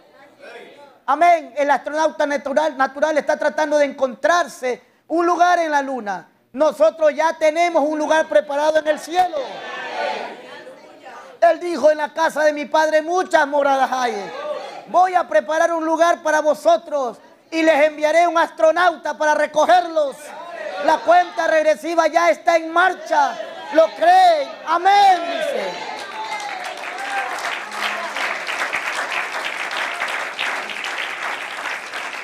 Él envió el astronauta, el astronauta está aquí, nos asustamos. Yo puedo decirle, hermano, el astronauta está aquí. Él prometió un astronauta que vendría a vernos. Ya está aquí el astronauta. ¿No deberíamos alegrarnos? ¿No deberíamos estar felices, contentos? ¿Sabes que si Él está aquí, el viaje es inminente? Él está solamente pasando la lista, los nombres del libro han sido abiertos. Mi nombre está escrito allí. Él está nombrando mi nombre. Él no está nombrándonos en el cielo. Él está en la tierra con el libro en su mano. Cuenta regresiva. 10, 9, 8, 7, 6, 5, 4, 3, 2, 1, 0 el fuego comienza a esparcirse. El fuego de ese cohete ya lo estás oyendo. Y eso está como un brumido, está... Y estás escuchando eso. El fuego comienza a esparcirse, el ministerio es coronado en gloria, aleluya. El cohete comienza a despegar. No está apuntando hacia la luna, pero está apuntando hacia la gloria. Todo el mundo a la expectativa ahí. Y el, astronauta con el libro en las manos. Te voy a decir mi nombre. Juan Cedeño. ¿Cómo debería estar yo? Por eso me ves alegre. Este hermano se pasa tanto tiempo y que canta y que no sé qué. Es que estoy alegre. Es que estoy contento. Mi nombre ha sido nombrado. Estoy correcto de eso. Estoy cierto de eso. El astronauta que vino ya me nombró. Tal vez falta su nombre, tal vez falta su nombre. Por eso el cohete no ha despegado, pero él ya me nombró. Yo ya estoy en la lista, yo ya sé que estoy en la lista. Tal vez falta el último que se ha nombrado. Y cuando el último se ha nombrado, él dirá, bueno, suban que nos vamos. Allá va, con el fuego de Dios esparciéndose. El poder del Espíritu Santo levantándola más allá de la luna, las estrellas, más allá de cualquier cosa que alguna vez pudiera ser lograda por el hombre. La iglesia tomará su vuelo. Una mañana de estas, al seno de Dios en el cielo, amigos, el hombre ha podido lograr lo que tiene por medio de sus cosas naturales. Y Dios, aquí se los he probado, lo ha tipificado, todas esas cosas por medio de lo espiritual. Amén. Aleluya. Efesios 2.19. ¿Ves? Eso no es una conjetura. Eso no es solo una emoción, un pensamiento, no, hermano. Sí. Eso es más que eso. Eso no es un sueño solamente. Efesios 2. Versículo 19. Así que ya no soy extranjeros. Esto es para corregir muchas cosas que a veces yo mismo he caído en eso. Hermano, que sí. No, yo soy extranjero. Pero la Biblia me dice, después de esto, después que ya entendí, ya no soy extranjero. ¿Sí? Ya no soy extranjero, es porque yo he sido sacado. El entendimiento, la revelación me ha sacado. Amén. Ya no soy extranjero, Pablo. Ni advenedizo. Alguien que va de aquí para allá. No. Ni advenedizo, sino con ciudadanos de los santos. Y miembros de la familia de Dios. Ya no soy un, un- un extraño para esa familia. Yo era un extraño, era como, como Ruth. Ruth era una extraña para vos. ¿Sí o no? Si vos tuvieras familia, para toda la familia de vos, Ruth era una extraña. ¿Sí estamos? ¿Sí me va entendiendo? Pero de, ¿cuándo dejó de ser extraña? Hay mucha gente que lucha contra esto, que no, que no es esposa, que no es no sé qué. ¿Cuándo dejó de ser extraña Ruth? No cuando compró la ciudadanía. No cuando llegó al campo, no. Ella llegó, llegó de- dejó de ser extraña para esa familia cuando adquirió el apellido del duro, del patriarca de la familia, de- digámoslo así, del papá de todos esos hijos. ¿Estamos así, me entiende? Ahí dejó de ser extraña. Ya no me van a ver así, ¿y este?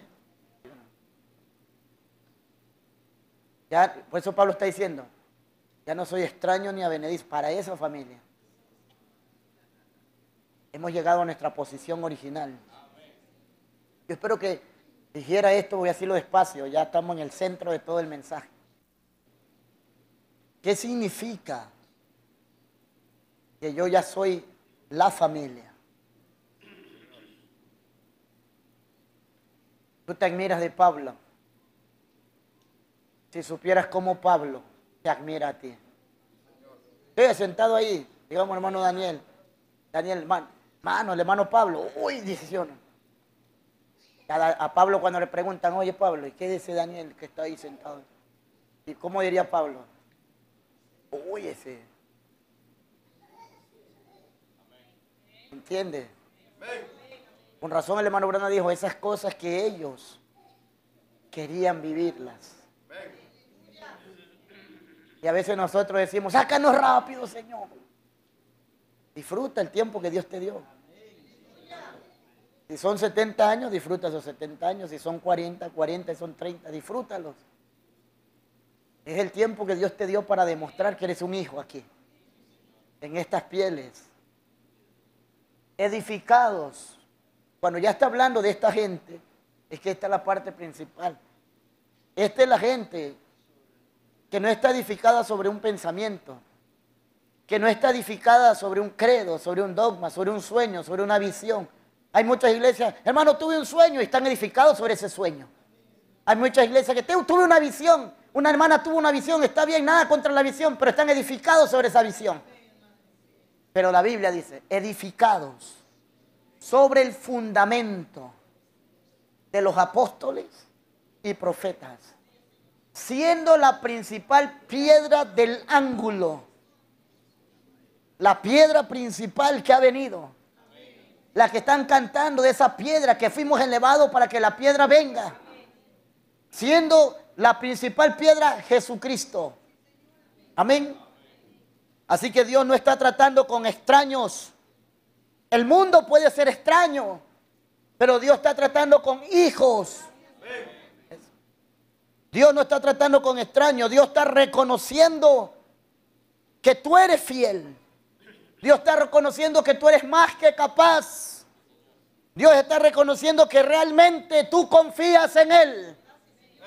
Para eso Dios te colocó aquí en la tierra con limitaciones, para que aprendas a confiar en Él y que le demuestres que tú realmente confías en Él. Y cuando estás soportando las pruebas, estás diciéndole a Dios que tú confías en Él. Cuando estás ahí en medio de la enfermedad, de la necesidad, entonces tú estás ahí parado diciendo, Señor, yo confío en ti. Entonces Dios realmente está conociéndote que tú en verdad confías en Él. No porque has ido a la iglesia, no porque hiciste ciertas cosas, sino porque estás soportando la prueba y todavía crees en Él. Génesis 22. Cuando Dios realmente vio que Abraham realmente le creía. ¿Sí? ¿Sí? ¿Crees que Abraham no le creía a Dios en, en, en los otros capítulos? Pero cuando Dios, se, cuando Dios, ¿cómo lo digo? Cuando Dios se convenció que ese hombre le creía. Mira, él, él va desde el 12, Abraham, vamos, tú eres el elegido. Génesis 12. Génesis 15, vamos Abraham, te voy a santificar. ¿Crees que Abraham no creía? Abraham creía. Génesis 18, te hago unos panes, nos comemos una lechecita, un cafecito.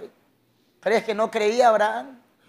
Pero cuando Dios se convenció, cuando Dios estuvo convencido, que tuvo que decirle, ya Abraham, ya, ya, ya, ya, ya, ya.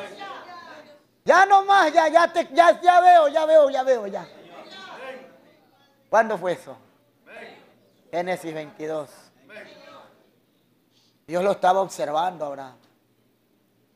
Este es mi hijo. Es fiel. Ha caminado de justificación, se bautizó. Lo veo llorando, lo veo alegre. Cuando él entró por primera vez, él está alegre. Y Dios en la iglesia observándolo. Esta, muchachita está como alegre. Vinieron pruebas. Y Dios observando a esta muchacha, a este muchacho. Y Dios observando. Soportaron una prueba. Siguieron adelante. Hermano, quiero cantar un especial, cántelo. No quiere cantarlo. Bueno, usted pase. Y, y Dios observando. De repente Dios desciende comienza a ver ciertas cosas, porque Sara se ríe y todas esas cosas. No te preocupes, yo vendré. Y él comienza a observarlos. Ya no están en justificación, ya no están en santificación, ahora están recibiendo el bautismo del Espíritu Santo. Y él los, los está observando. Yo espero que usted lo lleve a su vida. Y de repente Dios, esta gente ha sido fiel. Esta gente ha sido fiel. Pero Él quiere convencerse. No es que Dios no confíe, pero Él quiere estar convencido.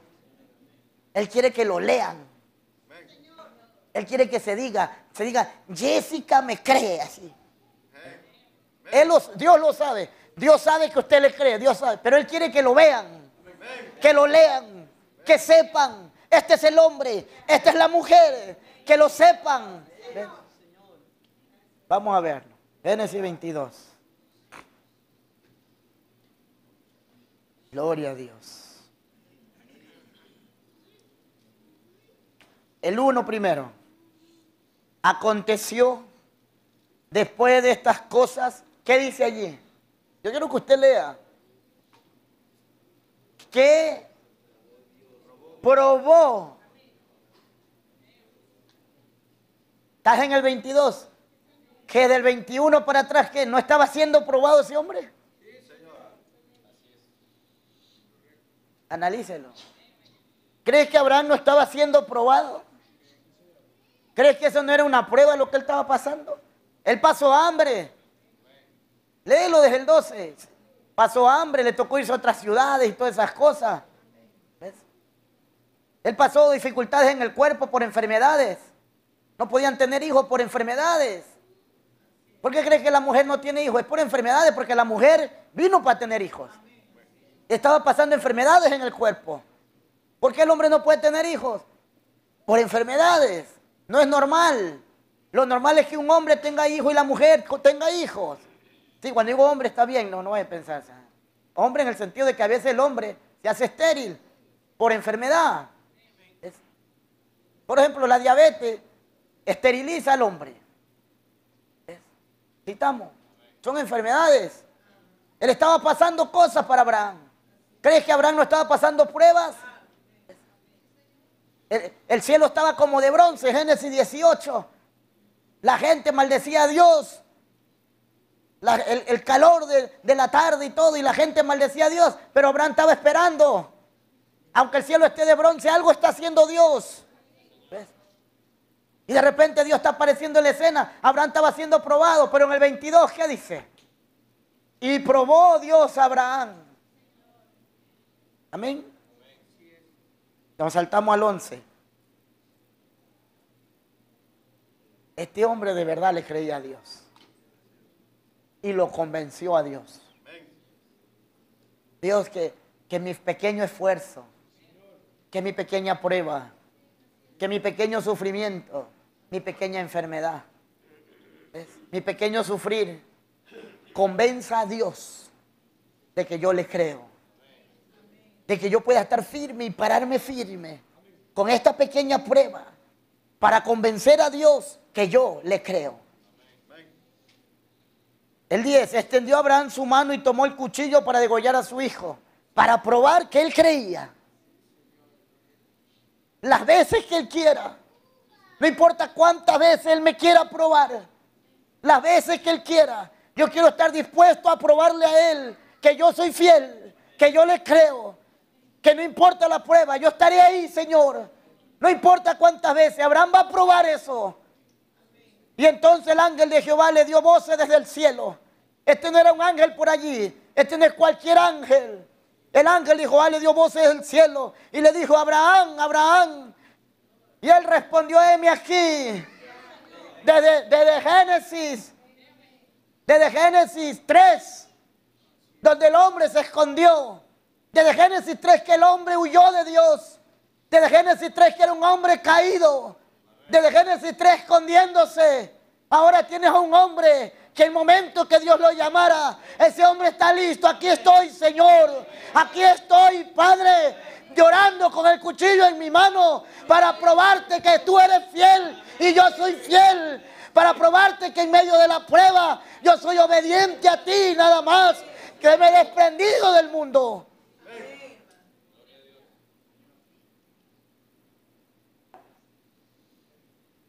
Aquí estoy, Señor. Lo llevas a Adán, a Adán calladitos. Desde el pecado, desde un hombre en pecado, hasta un hombre que ahora él ya sabe, no se está escondiendo. Toda su vida vivió para eso, para cuando el Señor dijera tu nombre, tú estuvieras allí, aquí estoy. No, no dándole largas, que mire, que, no sé qué. Que, no, aquí estoy, Señor, desde, desde Génesis 3 hasta Génesis 22, la historia que ha continuado en la vida del hombre. ¿Ves? Abraham, Abraham, heme aquí. ¿Ves? Qué maravilloso va a pronunciar el Señor aquí. Yo quiero escuchar esa voz conmigo. No extiendas tu mano sobre el muchacho, ni le hagas nada, porque eso quiero escuchar yo. Yo no sé si usted lo quiere escuchar en su vida, pero esto deseo yo escuchar en mi vida. Ya conozco que temes más a Dios que aún a tu propia familia. Que estás dispuesto a dar todo, tu propia vida, la vida de tu familia, lo que sea, que estás dispuesto a dar, ya conozco, ahora lo reconozco. Yo quiero escuchar esa voz un día. Amén. Oh Señor, que no sea un cobarde, dijo el hermano Brana. Así que tenemos ahora, heme aquí, Señor. ¿Ves? Ah, con todas estas cosas tu carne se siente incómoda. Porque una cosa, ya hablamos del ser, la carne comienza a, a confrontar eso. Aún yo no sé el pensamiento de usted en esta mañana, ¿cómo va a decir que por encima es su familia? La carne se siente incómoda. Pero ¿qué dice tu alma? ¿Qué dice tu alma? Tu alma habla. David decía, ¿por qué te abates, oh alma mía? Oh alma mía, ama a Jehová. Amén. Así que Dios está reconociendo eso. Tú eres fiel. El cielo se está volviendo más real para ti. Así como el infierno se está volviendo más caliente para ellos. ¿No es el cielo más real en esta mañana para ti? ¿Ves? La vida original, las características de Dios están siendo reveladas a tu alma. Dios está revelando la parte femenina. El misterio de quién es ella está siendo entendido. Mensaje un guía. Cuatro cosas que Dios tenía, cuatro o cinco cosas. Es lo que Él está revelando. Amén. Si lo pone rápido. Y el Espíritu Santo siempre habla de la palabra. Tengo muchas cosas que deciros. Ahora no las podéis entender. Jesús hablándole a sus discípulos. No era tiempo de decirle estas cosas. Pero cuando Él venga, ya dijimos que el astronauta está aquí. Pero cuando Él venga, Él te guiará a ello. Esa es la razón de la venida de los sellos. Escuche, porque esta es la base para el martes. Esta es la razón de la venida de los sellos. A la consumación del séptimo sello, el misterio de Dios debería ser consumado. Para saber, voy a dejarle ahí las preguntas para, para, el, para el martes. Para saber quién es Dios. Él está revelando quién es Dios. Ella debe saber, o usted debe saber, primero, quién es Dios.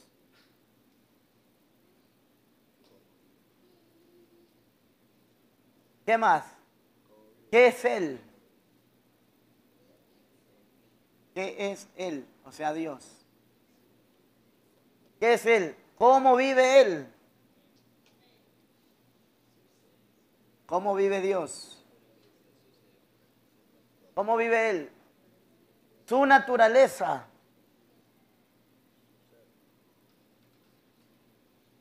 Su ser.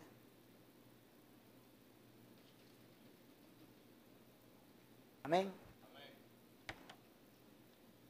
Ustedes deberían de estar hasta acá arriba para ese tiempo. ¿Ven? El agua debería haberlos elevado. ¿Ves? Trayéndonos a toda la estatura de hijos e hijas de Dios.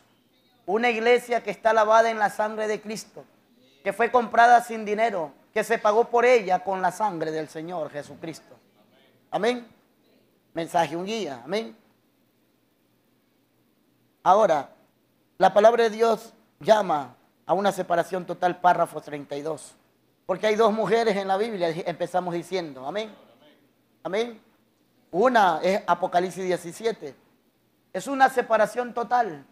Jamás debemos volver al mundo, ni tener nada que ver con el mundo, sino aferrarnos solo a Dios.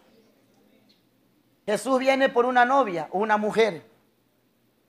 No viene por Babilonia, viene por una mujer, una iglesia que se ha separado de las cosas del mundo o de los cuidados del mundo. Ella se ha separado de las modas de esta edad moderna en la que vivimos. Ella se ha separado de los cuidados y de las tradiciones de las iglesias. Ella se ha separado únicamente para Dios y Dios es la palabra. Amén. Y como el esposo y la esposa son uno, también la novia y la palabra vienen a ser una. Porque la palabra está viviendo a través de la novia. Así es, esas son sus credenciales, esa es su identificación. Primera de Juan 4.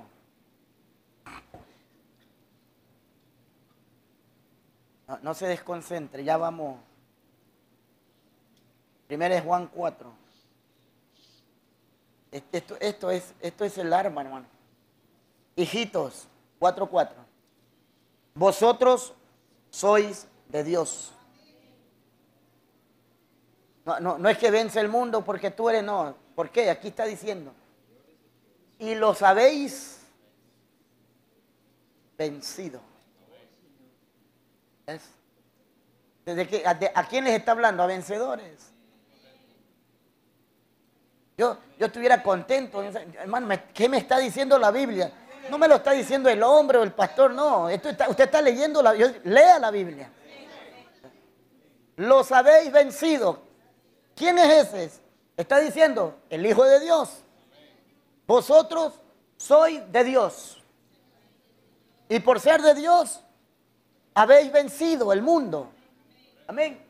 Porque mayor es, este es un sello, este es el pacto. Porque mayor es el que está en vosotros. Este es el sello. ¿Ve?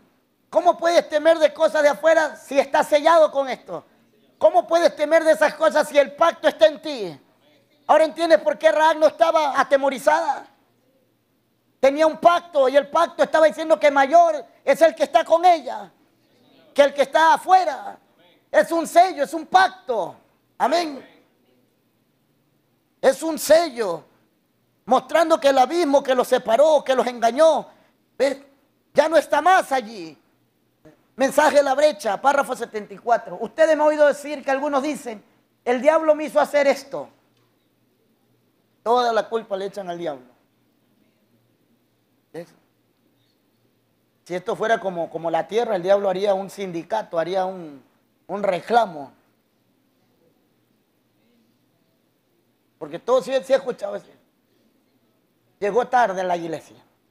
¿Por qué llegó tarde?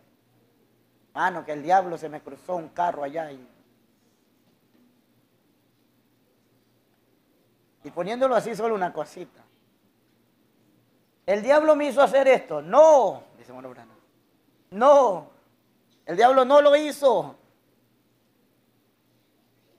Dice, no, usted simplemente no estaba sellado adentro. Porque si, si usted es un hijo de Dios, tiene que conocer la estrategia del diablo.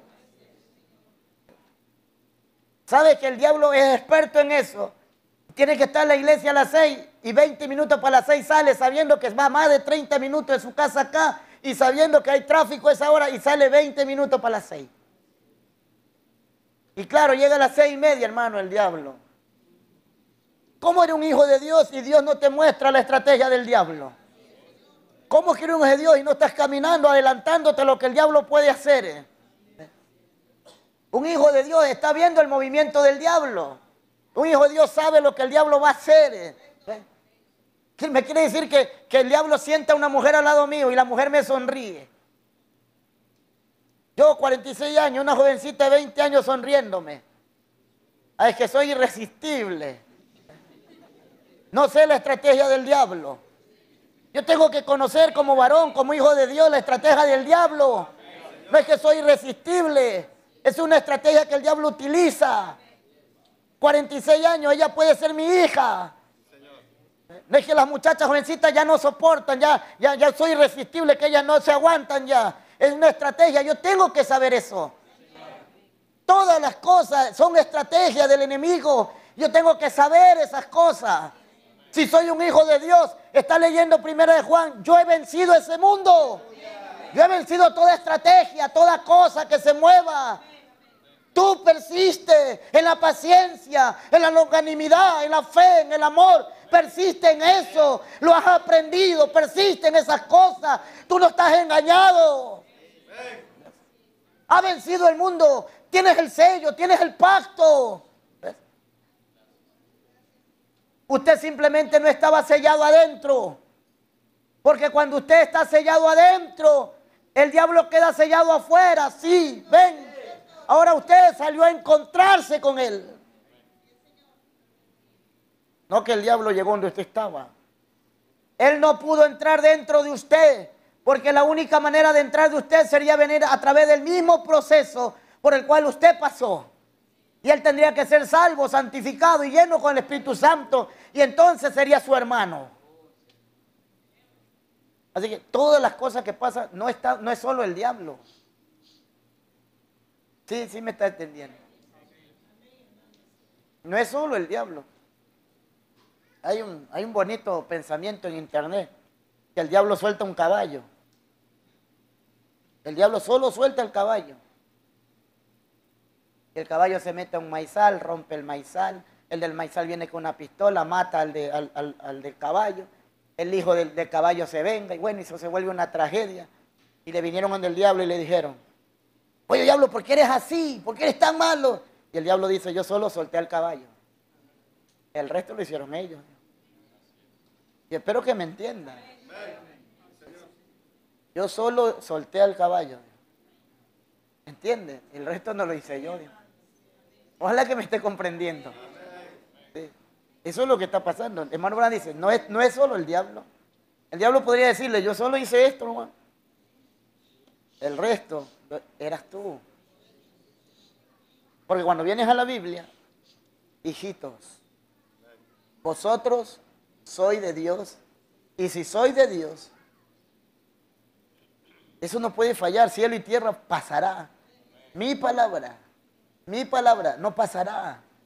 Así que pueden ver, él no hizo eso. No, no, usted llegó hasta la frontera y se regresó. Codiciando por las cosas del mundo. Usted nunca entró completamente a Canaán cruzando el Jordán. Muerte a uno mismo. Amén. Voy a apurarme.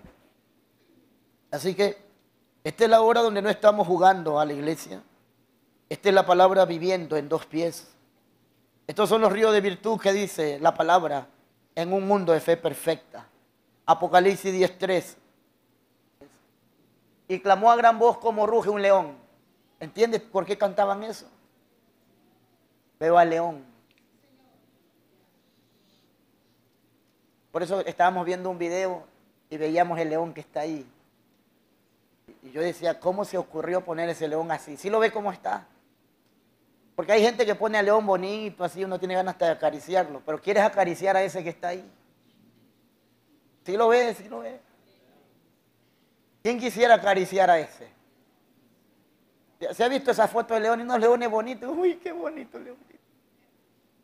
Pero ese, Apocalipsis 10.3, clamó a gran voz, como ruge un león. Y cuando hubo clamado, siete truenos emitieron sus voces. ¿Qué hicieron siete truenos? Ahora la gente tiene miedo a los siete truenos. Unos se fueron para un lado y otros se fueron para otro lado. ¿Qué hicieron siete truenos en el, en el libro de Éxodo? ¿Qué hicieron siete truenos? Liberaron un pueblo. Siete truenos hicieron que ellos reconocieran quiénes eran. Eso hicieron siete truenos. Amén. Siete truenos movieron a Israel de Egipto a Canaán. Eso hicieron siete truenos en el libro de Éxodo. ¿Qué haría siete truenos para nosotros? ¿Lo movería usted de dónde? De este Egipto. ¿A dónde lo movería? Al verdadero Canaán. Lo movería de la tierra al cielo. Lo movería de este cuerpo a un cuerpo perfecto. Entonces, ¿por qué tener miedo a esos siete truenos? Amén. Estaba, esos siete truenos estaban moviendo a Israel de Egipto a Canaán. Movieron sus vidas, movieron sus tiendas de Egipto a Canaán, donde fluye leche y miel. Fuera de esclavitud. ¿Qué haría con el Israel espiritual? Voy a, a poner el broche ya. Éxodo 33. Ahora sí, despierte a los que están dormidos. Ahora Éxodo 33. Oye, van a hablar de ti, dile. Así diga, oye, van a hablar de ti en esta mañana. Disculpe si los despertamos, pero que tiene que escuchar. Éxodo 33.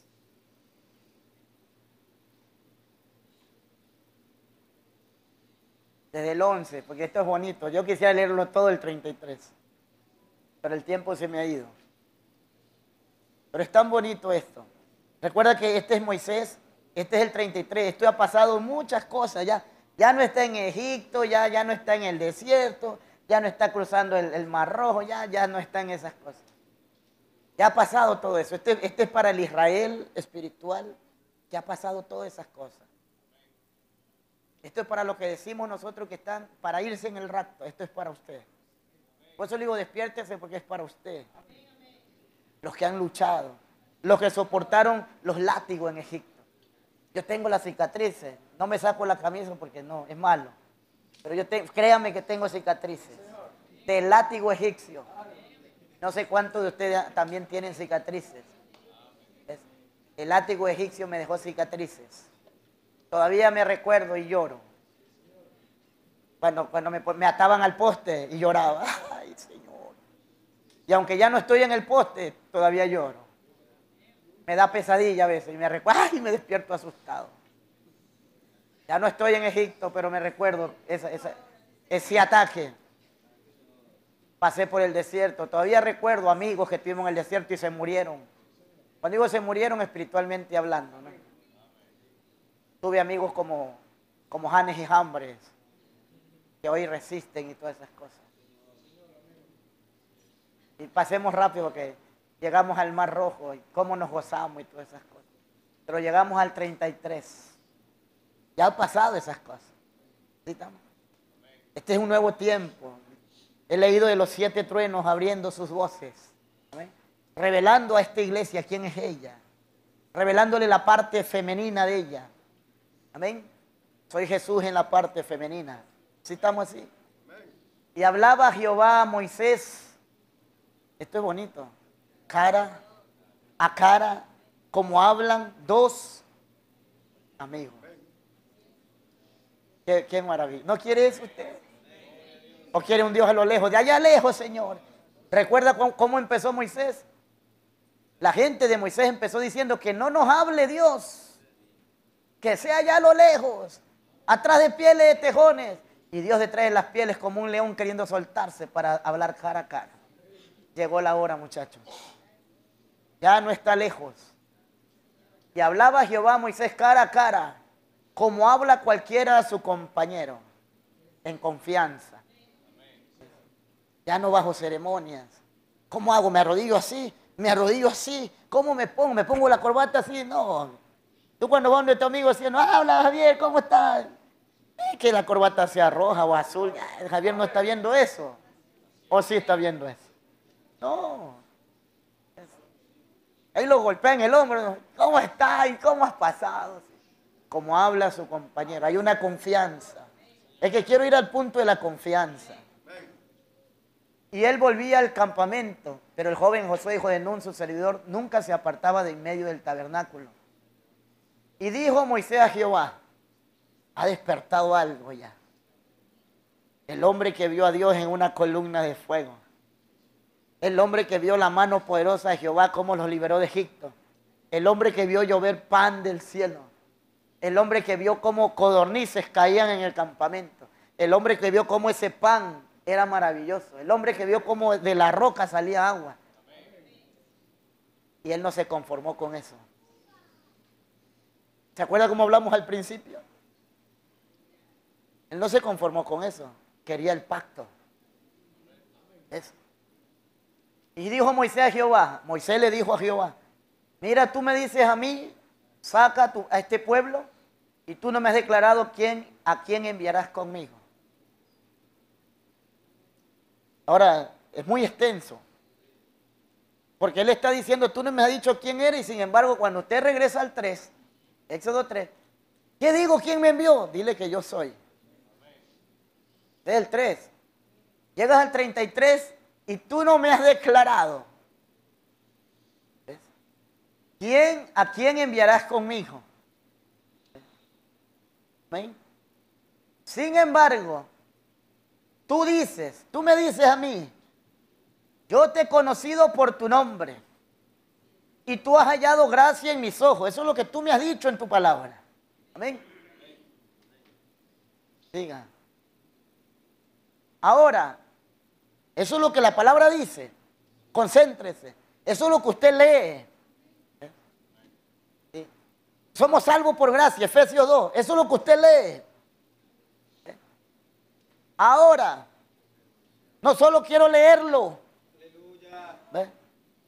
Sí, ahí dice, ¿dónde dice hermano? En Efesios, ¿dónde más dice acá? ¿Dónde más dice acá? Pero Moisés dice, hey, le dijo.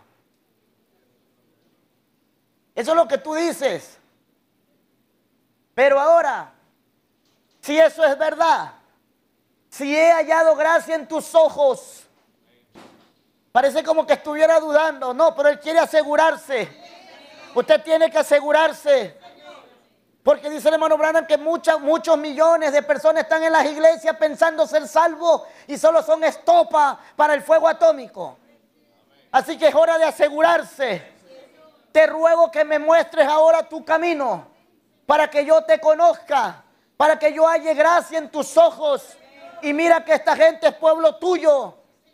Y él dijo, viendo la decisión de ese hombre, viendo que esto es serio, viendo que ese hombre no está jugando, viendo que ese hombre está cansado de todas esas cosas, está volviéndose anciano. Esto es a la edad de 80 años, 40 años estuvo en Egipto, 40 años fuera de Egipto, ahora él está fuera, ahora le está pidiendo algo, una aseguranza. No solo bastó con las tres etapas de la gracia, no solo bastó con el Espíritu Santo, él quiere un pacto. Dios le dijo, mi presencia irá contigo y te daré descanso.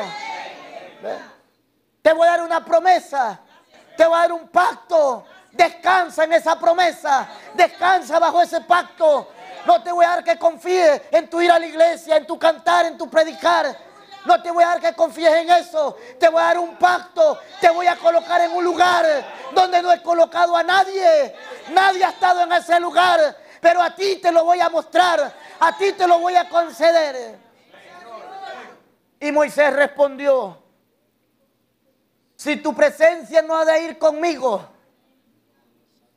no nos saque de aquí. Se está poniendo esto caliente, hermano. Se está, está ardiendo y ahora sí. Ahora sí sentimos el rugir del león. Esta es la palabra, esta es la revelación para nuestra alma. Esto no es solamente para que te vistas bien y te portes bien. Esto es colocar tu alma en posición. Esto es colocar tu alma en un lugar donde las promesas son ciertas. Esto es un lugar real.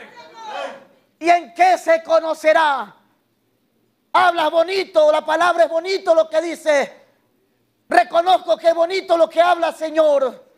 Pero ¿en qué se conocerá? Aquí que he hallado gracia en tus ojos, yo y tu pueblo. La gracia es que tú andes con nosotros. Esa es gracia. Eso no pudiera darse como un conocimiento, porque eso es gracia. ¿En qué se conocerá aquí que he hallado gracia en tus ojos? Yo y tu pueblo, sino en que tú andes con nosotros y que yo y tu pueblo seamos apartados de todos los pueblos que están sobre la faz de la tierra. Eso es gracia. Pero eso todavía no reconoce. ¿En qué yo te conoceré a ti?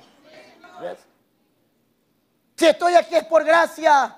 Si predico es por gracia. Si me he vestido así es por gracia. Si he huido del mundo es por gracia. Pero yo quiero algo más que esa gracia. Quiero un pacto. Y Jehová le dijo entonces a Moisés, no me vas a dejar tranquilo, ¿verdad? ¿Cuántos han estado así con Dios? Yo puedo decir, hermano, no es por jactarme, pero yo me identifico con esa escritura. Yo debería estar tranquilo, ya no tomo, ya ni ganas. No quiero salir ni de mi casa. Si no tuviera que venir a la iglesia, estuviera encerrado en mi casa ahorita. Dios lo ve a Moisés así. No te voy a dejar tranquilo, Señor. Cada servicio voy a hablar así. Cada servicio voy a cantar así. Cada oración voy a orar así. No te voy a dejar en paz, Señor. Y el Señor no puede hacer otra cosa. Jehová le dijo a Moisés, está bien.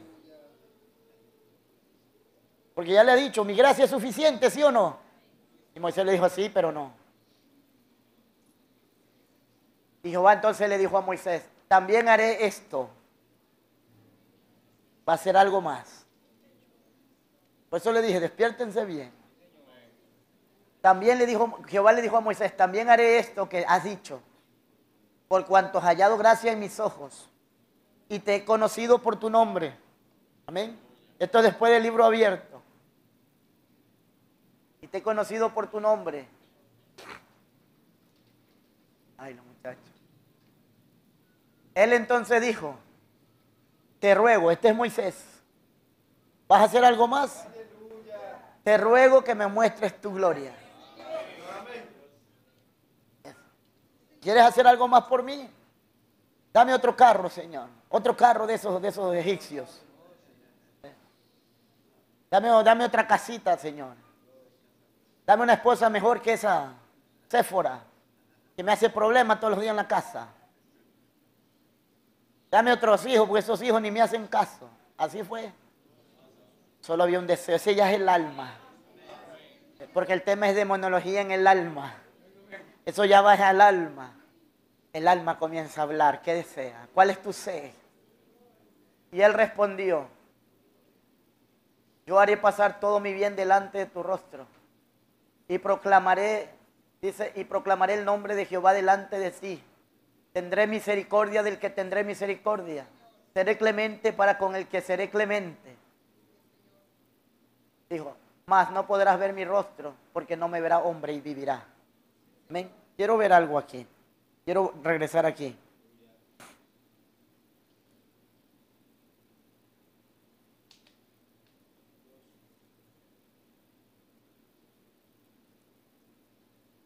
Versículo 21. Todo eso va a suceder, pero el tiempo, voy al 21.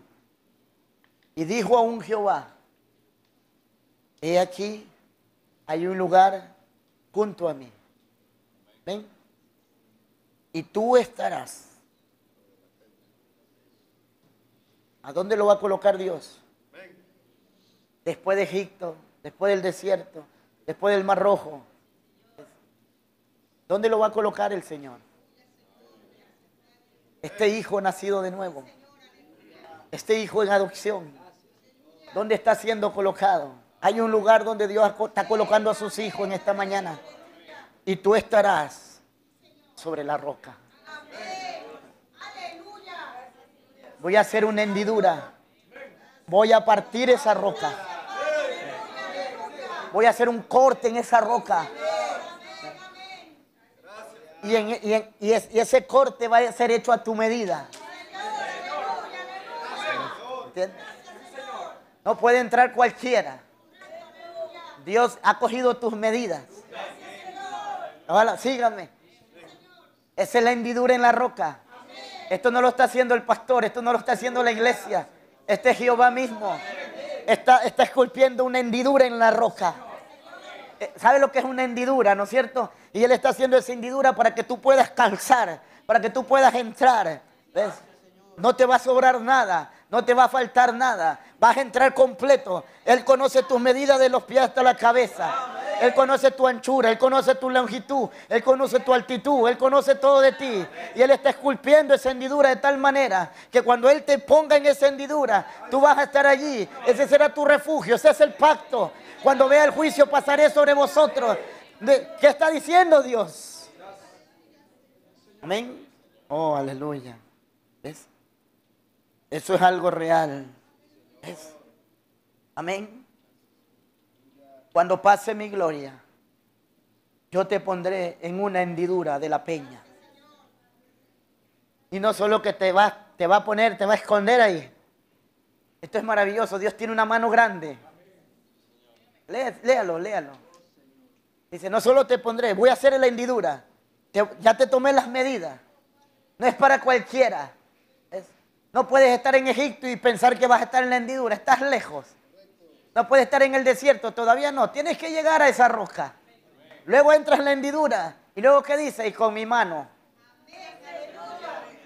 ¿Va siguiéndome? Dice, yo te voy a cubrir con mi mano. Cuando vengan los ríos. Cuando vengan los vientos. Cuando venga la lluvia.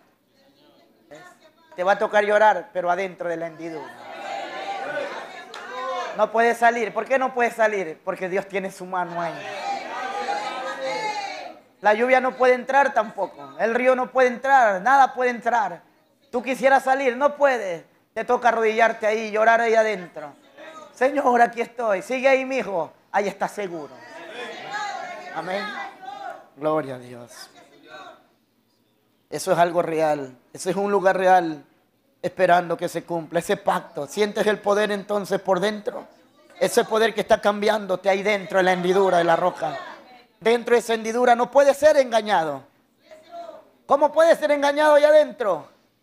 Si alguien ha sido engañado es porque no está en la hendidura. No está la mano de Jehová cubriéndolo. Amén. Oh, sientes el poder cambiándote. No estás engañado. Tus ojos han sido abiertos. Estás dentro de esa hendidura clamando, santo, santo, santo.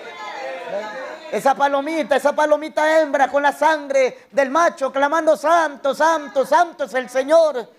Oh, una real separación. Un mundo real. Hay en Primera Reyes 18. ¿Quién si no sabe de esas cosas sobrenaturales? ¿Quién si no sabe qué significa la nube? ¿Quién si no sabe de, de cosas detrás de esa dimensión? ¿Quién si camina con un profeta, oye de un profeta, pero no sabe de cosas sobrenaturales? Necesita, necesita ese mismo espíritu, necesita ese manto a su medida. Necesitas el mismo Dios que tuvo Elías, ese mismo poder que tuvo Elías para caminar en las cosas sobrenaturales. ¿Quién si no sabe de eso? ¿Quién si solo ve problemas? ¿Quién si solo ve enemigos? Pero no ve la mano de Dios. Abre los ojos, Señor. Mira cómo está clamando este hombre sobre ese otro hombre. Están en la misma esfera, pero está viendo con otros ojos. ¿Qué ves en tus problemas? ¿Ves solo los problemas? ¿O ves dónde estás? Si has resistido, toca algo, anímame al que toca. Si has resistido, ¿por qué has resistido? Si no te has rendido, ¿por qué no te has rendido? ¿En dónde estás entonces? ¿En dónde estás? ¿Qué lugar es ese que no te permite retroceder? Somos tan débiles, somos tan finitos, nos decepcionamos tanto. Una pequeña enfermedad nos haría desanimarnos. Cuando mi hijita se enferma, yo me desanimo. Oro y no encuentro respuesta y me desanimo. ¿Ves? Pero ¿por qué no he retrocedido? No puedes ver esa mano en la hendidura. ¿Y quién está dentro? ¿Dónde me ha colocado Dios? Posiblemente dentro pudiera morirme, posiblemente. Pero cuando salga de esa hendidura saldré vivo. Cuando salga de esa hendidura seré joven otra vez. Cuando salga de esa seré perfecto. Él solo me guardó ahí para esconderme. Te voy a esconder solo para que veas mi gloria. Porque ni un hombre me ha visto. Porque cuando salga de allí tendremos compañerismo cara a cara. Hoy tengo compañerismo con Él solo con el Espíritu. Pero un día cuando salga de esa roca, cuando salga de ese refugio, veré a Dios a la misma imagen, a la misma semejanza, el mismo Dios, cara a cara. Hoy solo puedo ver su gloria a través de ese refugio. Te esconderé, haré una hendidura, te esconderé en ese lugar, pondré mi sello en ese lugar, mi mano será el sello.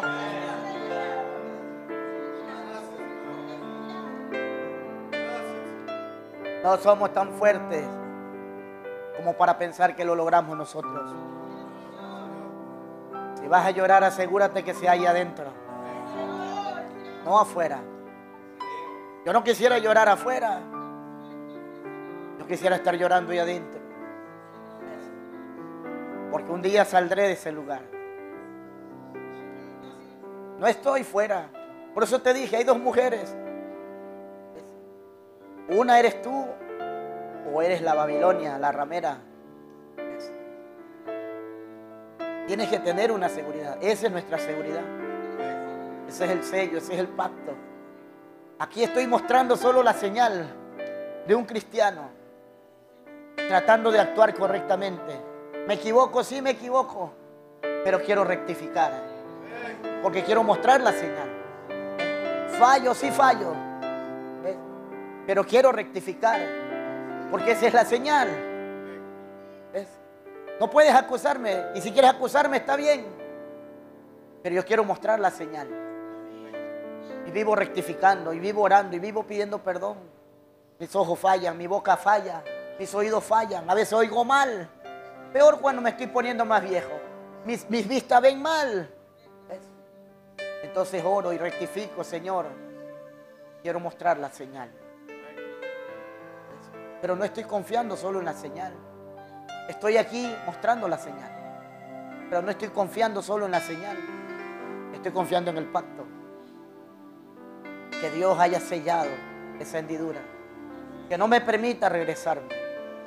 Que no me permita salir como un cobarde llorando afuera.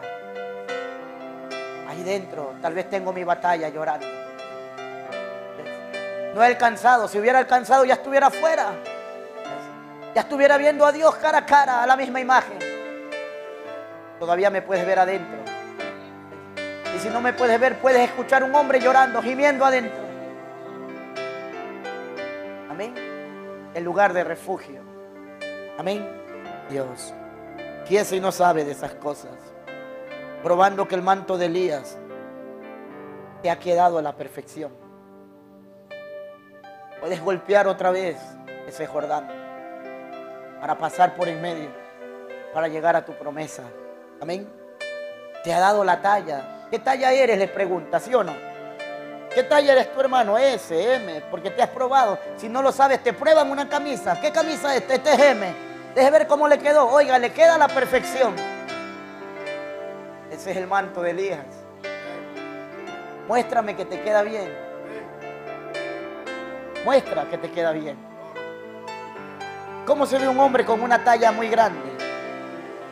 ¿Cómo se ve una mujer? ¿Se pondría una talla grande, hermana, usted? La mujer todavía que, disculpen la hermana, pero les gusta que le quede bien todo. A nosotros sí no nos importa. La mujer si quiere, no, ¿esto qué va a querer una mujer? No, no, no, tiene que quedar así, así tiene que quedar, ¿sí o no? Eso muestra a una iglesia. ¿Cómo puedes querer hacer cosas como te da la gana? ¿Cómo quieres querer hacer cosas, hermano? Como quiera. No.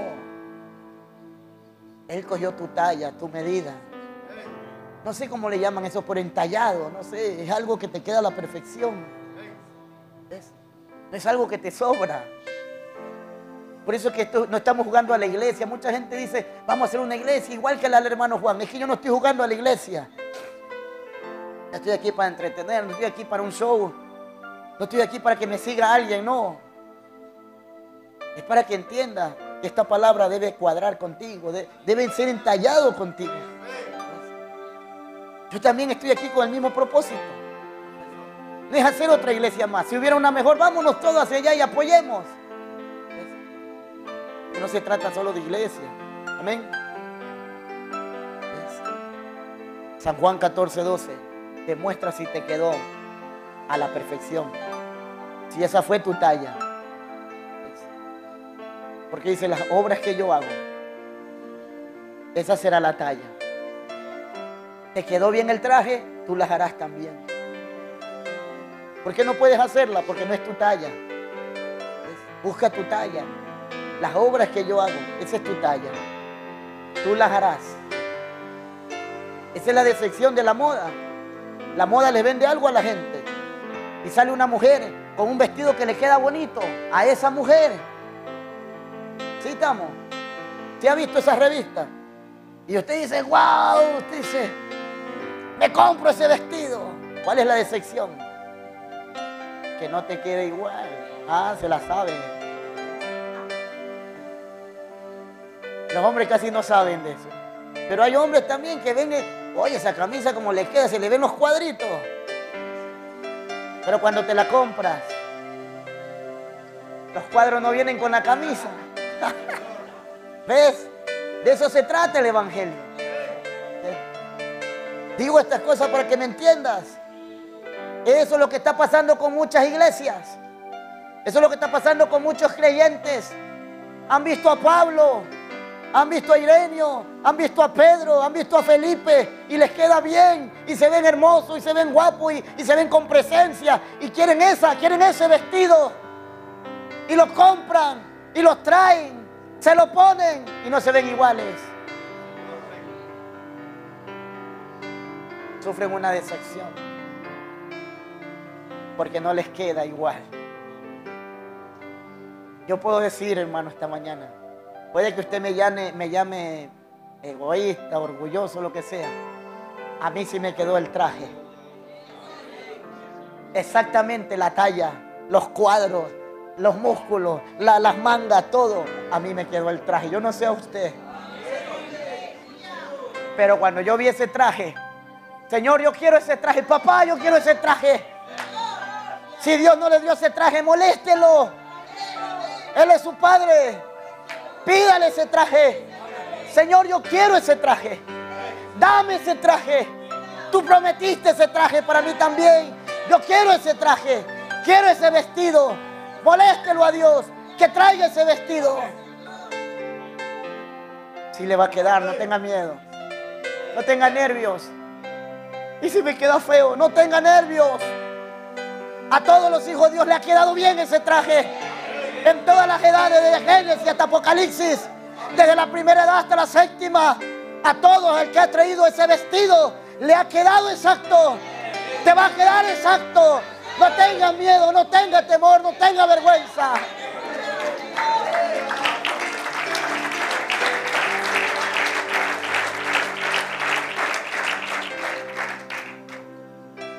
No es sintiendo el espíritu en el cuerpo. Eso ya pasó. No que no creemos en eso, pero ya pasó. Primer jalón, él tomaba las manos y él podía decir de qué estaban enfermos porque los demonios se podían ver en el cuerpo. Yo ya le expliqué el día jueves. El segundo jalón, él podía discernir los pensamientos. Usted en su casa tiene una taza, un sombrero guindado en tal lugar. A usted lo atropellaron hace 20 años, un carro azul y no sé cuánto. Ese era el segundo jalón. Esto que estamos hablando, de la hendidura en la roca, esto no es al cuerpo. Esto no es para emocionarse nada más. Esto no es al espíritu, para que el razonamiento o la memoria se alegre un momentito.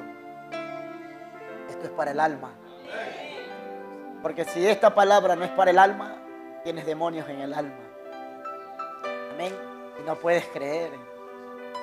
Por eso que Dios tiene que darnos una seguridad para creer. Al que cree todo le es posible. Es Dios bombeando esta palabra en tu alma. Es Dios yendo al interior. Es Dios alistando tu alma para el cambio. He estado predicando Mateo 24, 27, 28 y 29. Desde, desde otros países hasta acá. Y Mateo 24, 29 dice que el sol se oscurecerá. Que la luna entrará en, en penumbra. El sol ha sido puesto fuera. Si el sol ha sido puesto fuera, la iglesia entró en penumbras. Pero no solo dice eso, sino que las estrellas comenzaron a caer del cielo. Comenzaron a caer de la palabra. Y al final dice, si usted lo lee ahí, Mateo 24, 29, y la potencia de los cielos. Hay dos potencias, hay dos poderes que están siendo mecidos sobre la gente. Hay dos poderes que han sido conmovidos. Ahí está en Mateo 24, 29. Uno es el Espíritu Santo y otro es Lucero. Es- La potencia, dos- esos dos poderes están siendo mecidos hoy en la tierra. ¿Cuál está siendo mecido sobre ti en esta mañana? Ese poder del cielo ha descendido. No al cuerpo, no al espíritu, ha descendido a nuestra alma. Eso es la potencia de los cielos siendo conmovidos. Dice Isaías, dice, más sobre ti, Isaías 60. Densas tinieblas cubren la tierra más sobre ti. Hay un grupo yendo más allá del campamento, saliendo fuera a encontrarlo. en la fiesta de las trompetas, siendo reunidos en el lugar del cuerpo muerto, donde se reunirán las águilas, yendo más allá del campamento. Ahí está el cordero esperando, lo han sacado afuera. Densas tinieblas están sobre la tierra. Ese poder de los cielos que un día pecó allá y arrastró con su cola. Una de esas potencias está en la tierra. Pero otra potencia también está siendo mecida. Y está alumbrando los corazones de la gente. Reconociendo su día y su mensaje. Reconociendo su cordero, abrazando su cordero como Abel en la hendidura de la peña. Listo para el sacrificio. Muriendo con su cordero. La última prueba. Voy a probarte si eres fiel. ¿Cuántas hermanas están dispuestas a que Dios le diga eso? La última prueba. ¿Cuántos hermanos están dispuestos a que Dios le diga la última prueba? Y probó Dios a Abraham por última vez. Un día será la última prueba. ¿Qué si esta es la última? Pregúntate en esta mañana, ya cerré. ¿Qué si esta es la última prueba? ¿No estás dispuesta a aguantarla? ¿No estás dispuesta a pasarla bien? Lo voy a hacer, Señor. ¿Qué si esta es la última? Has soportado todas desde Génesis 12. Si esta es la última, si este es el 22 para ti, vas a rendirte en la última. Abraham, Abraham, contesta, heme aquí. No te escondas, heme aquí. La última prueba. Hasta que Él te diga, ahora sé. Ahora te conozco. Ahora sé que eres fiel. No porque viniste a la iglesia. Has escuchado mi voz. Y has hecho todo lo que te he dicho. Ahora reconozco que eres fiel. Dios. ¿Ves? Dios actuando en el interior listo para, los, para el cambio. La potencia de los cielos siendo conmovida sobre nuestra alma. Apocalipsis 16, 14, 15 están los dos poderes. ¿Ves? Pero regresamos a la escritura de 2 Timoteo. Amén. Pero tú has seguido mi doctrina. Oh Señor, amén, Señor. ¿Ves? Has seguido mi doctrina. Mi conducta. Mi propósito. Has seguido mi fe. Has seguido mi longanimidad, mi amor, mi paciencia. Amén. Todos los que quieren vivir piadosamente padecerán persecución. El martes lo vamos a dejar para el martes. Padecerán persecución. Toda la estrategia de Satanás lo ves en las tiendas, en los supermaxi, en, Claro, en Movistar. Una estrategia preparada para perseguirte en la empresa eléctrica, en Interagua. ¿De qué está hablando este hombre? Persiguiéndote. El hermano habló de deudas. Si no usas un teléfono, eres un troglodicta, dice. Eres un cavernícola. Estás desconectado del mundo. Nadie, nadie va a saber dónde estás. ¿Y qué hacíamos cuando no había celulares? ¿Entiendes? Padecerás persecución. Todas las leyes hechas para la persecución. Amén. ¿Ves? Pero persiste tú. ¿Está dispuesto a eso? Por eso nos reunimos. Por eso hacemos lo que hacemos. Persiste tú. ¿Ves? Resiste. Inténtalo. ¿Ves? Sigue intentándolo. No te rindas. Persiste tú. En esto que has aprendido. Persiste en eso. No importa lo que digan los demás. No importa lo que digan las iglesias. Padecerás persecución. Pero persiste en lo que has oído y aprendido. Póngase de pie. Ahorita que está calientito, abrace a alguien. No sientes ese, esa calentura. Es un mundo juzgado, caro. Un poder, enciende un poder con otro poder, con otro poder, con otro poder. Si tu hermana tiene una raíz de amargura, quema eso. Abrázala y quémala. Extínguela. Extingue todo odio, todo celo, toda cosa. Quémalo. Un poder.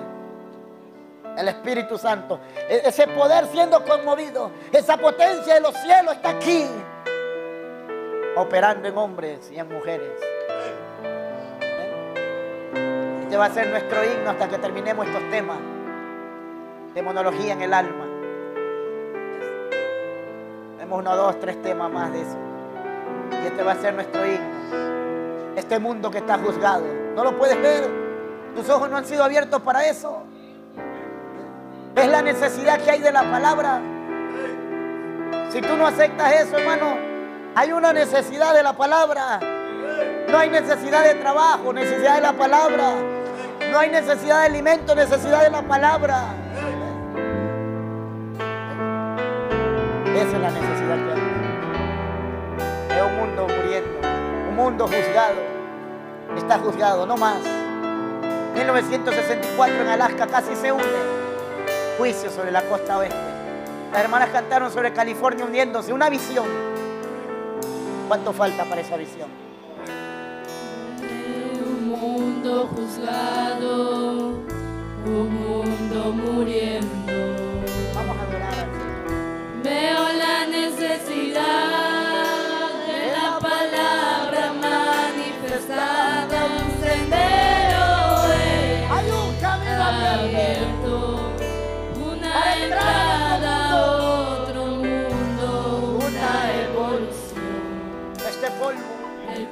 A las estrellas. las estrellas,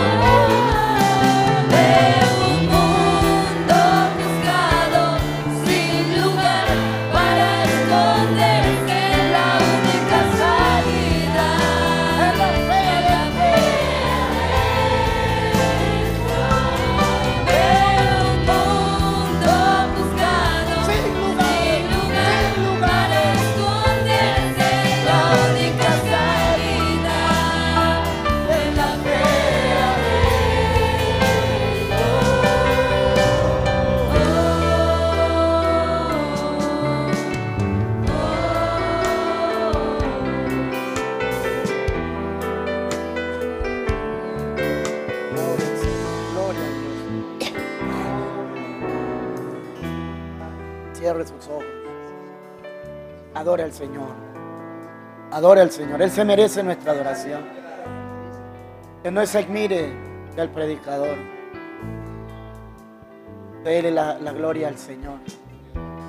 El predicador no tiene nada que ver con esto. El predicador solo es un instrumento, nada más. Si fue sobresaliente, es porque Él está aquí. Él está aquí no por mí, Él está aquí por ti. ¿Cuánto le ha fallado? Yo no sé. ¿Que no sientes cómo Él te llama? ¿No sientes cómo Él quiere perdonarte a ti? ¿No sientes que Él habla a tu alma? No bajo una emoción, no, no bajo los sentidos del Espíritu, no bajo los sentidos de la carne. Él está bombeando el alma. Es un bombear al alma. ¿Cuántas veces debo perdonar, Señor? Siete veces.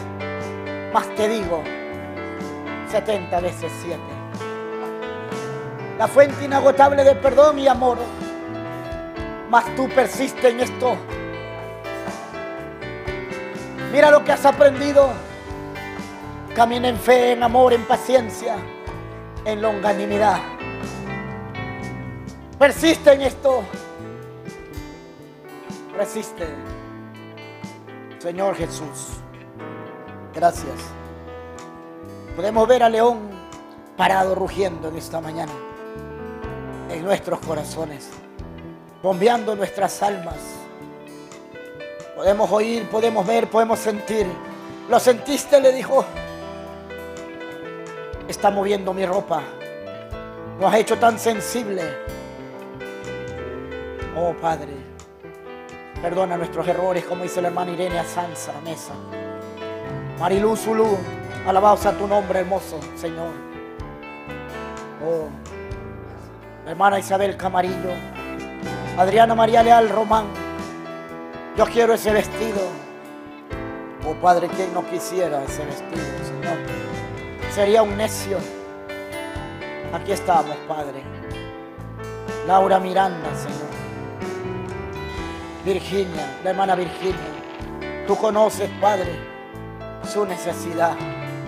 Sabes la prueba que le tocó pasar. Sabes las cicatrices que trae en su cuerpo. Pero Dios te ha hablado al alma. Dios no está hablando para tu cuerpo, Dios está hablando para tu alma, hermana Virginia.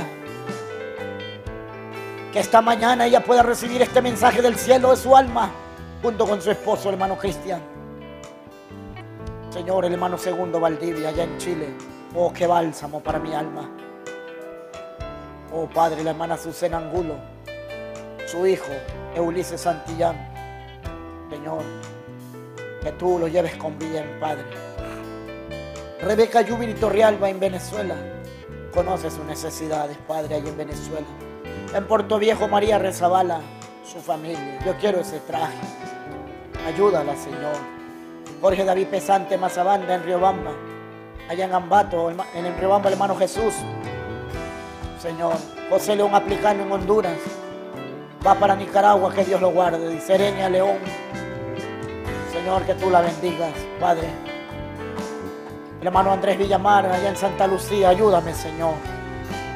Oh, debemos tener sinceridad en esta hora, Padre. Esta es la hora, Señor. Dando la suficiente sinceridad, Padre. Dando la suficiente sinceridad para creer, Señor, que esto es real. Rosa Morocho, Señor. Nuestros hermanos de Barbones, el hermano Zumba, Padre. Por favor, ayúdalo, Señor. La gente que está a lo lejos, Padre. Ellos no tienen esta oportunidad que nosotros tenemos. Y a veces la despreciamos, Señor. Oh, Padre, ayuda a estos hermanos. No es que ellos lo decidieron así, Padre. Tú lo decidiste así. Pero aún en lo poco han sido fieles, Padre. Ayúdalos. No están siguiendo un hombre. Están siguiéndote a ti, Padre. Ayúdalos, Padre Celestial. Oramos, amado Dios, por el hermano Abel Jiménez, Señor, su esposita, sus cicatrices de batalla, Padre. Ayúdales. Desde aquí, con todo nuestro corazón, nos unimos en oración por él. Que tú lo ayudes, Padre, lo sostengas en estas batallas que tenemos, Padre. La familia Rivera Camarillo, Padre, que tú los bendigas, que tú los ayudes, Padre. Señor, la familia Borges, oh Padre Celestial, que tú los ayudes, Padre. Ayúdalos, Padre. Señor, están pidiendo por vida espiritual también, Señor. El hermano Israel y su familia. Tú sabes las batallas, los desánimos que vienen, los golpes vienen con un propósito. Pero hoy tú le has dicho que no pueden salirse de la hendidura de esa roca, donde tú partiste esa roca por él, por nuestro hermano Israel, Señor, por su familia. Que ellos no pueden salir de ahí. Ahora dentro de ahí, Señor, de rodillas ellos pidiéndote por su vida espiritual, por él, por sus hijos, Padre. Que tú los ayudes, Padre. Ayúdalos, amado Dios. Cada hermano, cada hermana en este lugar, Padre. Los del coro, Señor. Los jóvenes, los músicos, Señor. Los que hacen audio, video. Padre, que ellos sientan ese clamor, ese sentir. Que el día sábado nos dé un buen tiempo con ellos. Que derrames el Espíritu Santo especialmente para ellos. No solo para ellos en esta mañana, los que están aquí. Las visitas, los varones, las mujeres. Los que hemos hecho un esfuerzo por venir, Señor. Los que hemos logrado venir, Padre. No para ser vistos, sino para verte a ti, Padre. Nos ponemos en tus manos. Si hay una necesidad, solo levante sus manos. Crea con todo su corazón. Hasta otra oportunidad, Dios. Gracias por tu palabra. Gracias por la dirección de los cantos, los cantos y todo. Por cada cosa que se hizo, por los votos, por los diezmos, por las ofrendas, por la palabra, por todo lo que se hizo, los especiales, todo, Padre. Si hay otra oportunidad, seguro regresaremos, Padre. Gracias por todo. Tu siervo se despide en paz. Gracias, Señor Jesús. Gracias, Padre. En el nombre del Señor Jesucristo. Amén. Amén. Amén. Gracias, Señor Jesús. Amén. Tome asiento, hermano. Este es el informe de, de la escuela dominical. Las profesoras fueron la hermana Diana, Diana Pino y Silvia Largo. Las ayudantes fueron la hermana Melanie Jurado y Alejandrita Peñafiel. El tema fue alabanza y adoración. Total de niños 39 niños, total de Biblias 9 Biblias, total de ofrendas 7,85. Amén. Dicen que Dios les bendiga. El día sábado tendremos el programa con los jóvenes. Entonces que, que que puedan los padres avanzar con ellos o mandarlos. Y van a mandarlos solos para tener el cuidado suficiente para poder esperarlos y tenerlos acá. Los diáconos que se organicen para poder tener el control. desde la llegada, si llegan a las 8, vamos a tratar de tener el desayuno para empezar a las 9 en punto. 9 en punto vamos a tener hora y media para, para tener un devocional de adoración. Luego salimos un ratito, nos comemos una fruta, algo y regresamos para, para traer una enseñanza. A la una almorzamos y entramos otra vez para el segundo devocional de alabanza y adoración. Que el Señor nos guíe y nos dé su Espíritu Santo para ese día. Sábado 25 de marzo. Luego estaremos organizando ya hoy para hablar con el hermano Juan Holguín sobre si hay un bus eh, que nos vaya a llevar el viernes. Tendríamos que salir 5 en punto de aquí. 5 en punto de la mañana por causa que allá llegaríamos a las 9. Tenemos que aprovechar el día para que tengan un momento de relajación también y en la tarde un servicio. Ya en la noche estaremos comiendo un sándwich algo y trayéndolos, tratar de venir hasta aquí y de alguna manera hacerlos llegar a las casas, los que viven en otro lugar. Los que van a quedar aquí en la iglesia para el sábado ya los ensayos y todo, poder, poder estar ya acá. Por este sábado, por una sola vez que se va a tener este evento, el 25 de marzo, tienen que organizar o mover la- los ensayos, los que vayan a hacer, por causa de que necesito que los jóvenes estén por una sola vez al año este, este evento. Necesito conversar algo con ellos, hay muchos nuevos, cómo nos manejamos aquí y también necesito que reciban de Dios un poquito más, que pongamos a hacer una atmósfera para que ellos puedan recibir. Amén. Eso solamente. Entonces lo de plan piloto está encargado el hermano Ricardo. ¿sí? La Santa Cena dijimos el día 16 de, de abril es la Santa Cena para que vaya preparándose también para ver si ya compramos esta semana las uvas para hacer el vino. Bueno, eso creo que es lo, más, lo más de ahí. Entonces vamos a tener una reunión con la directiva también a la salida y, así estaremos avanzando. Gracias, Dios les bendiga a Oro, a los músicos, a los diáconos, a la mesa directiva, Dios les bendiga. Hermanas, Dios les bendiga, a los hermanos, Dios les bendiga. Gracias a la visita también, que Dios les bendiga mucho. Nos veremos el día martes a las 6 de la tarde. Gracias, Dios les bendiga.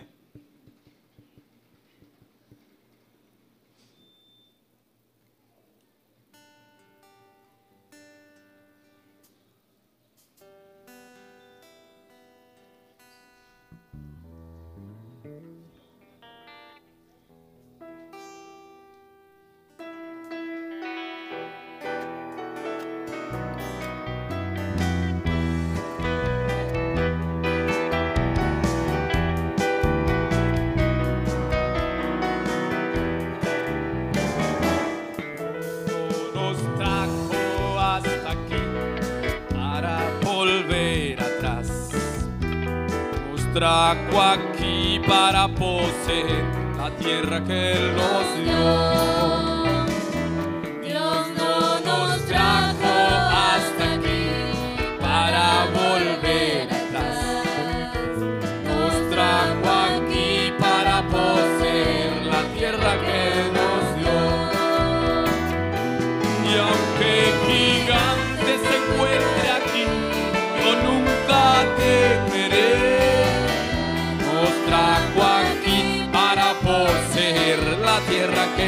Nos dio. Y aunque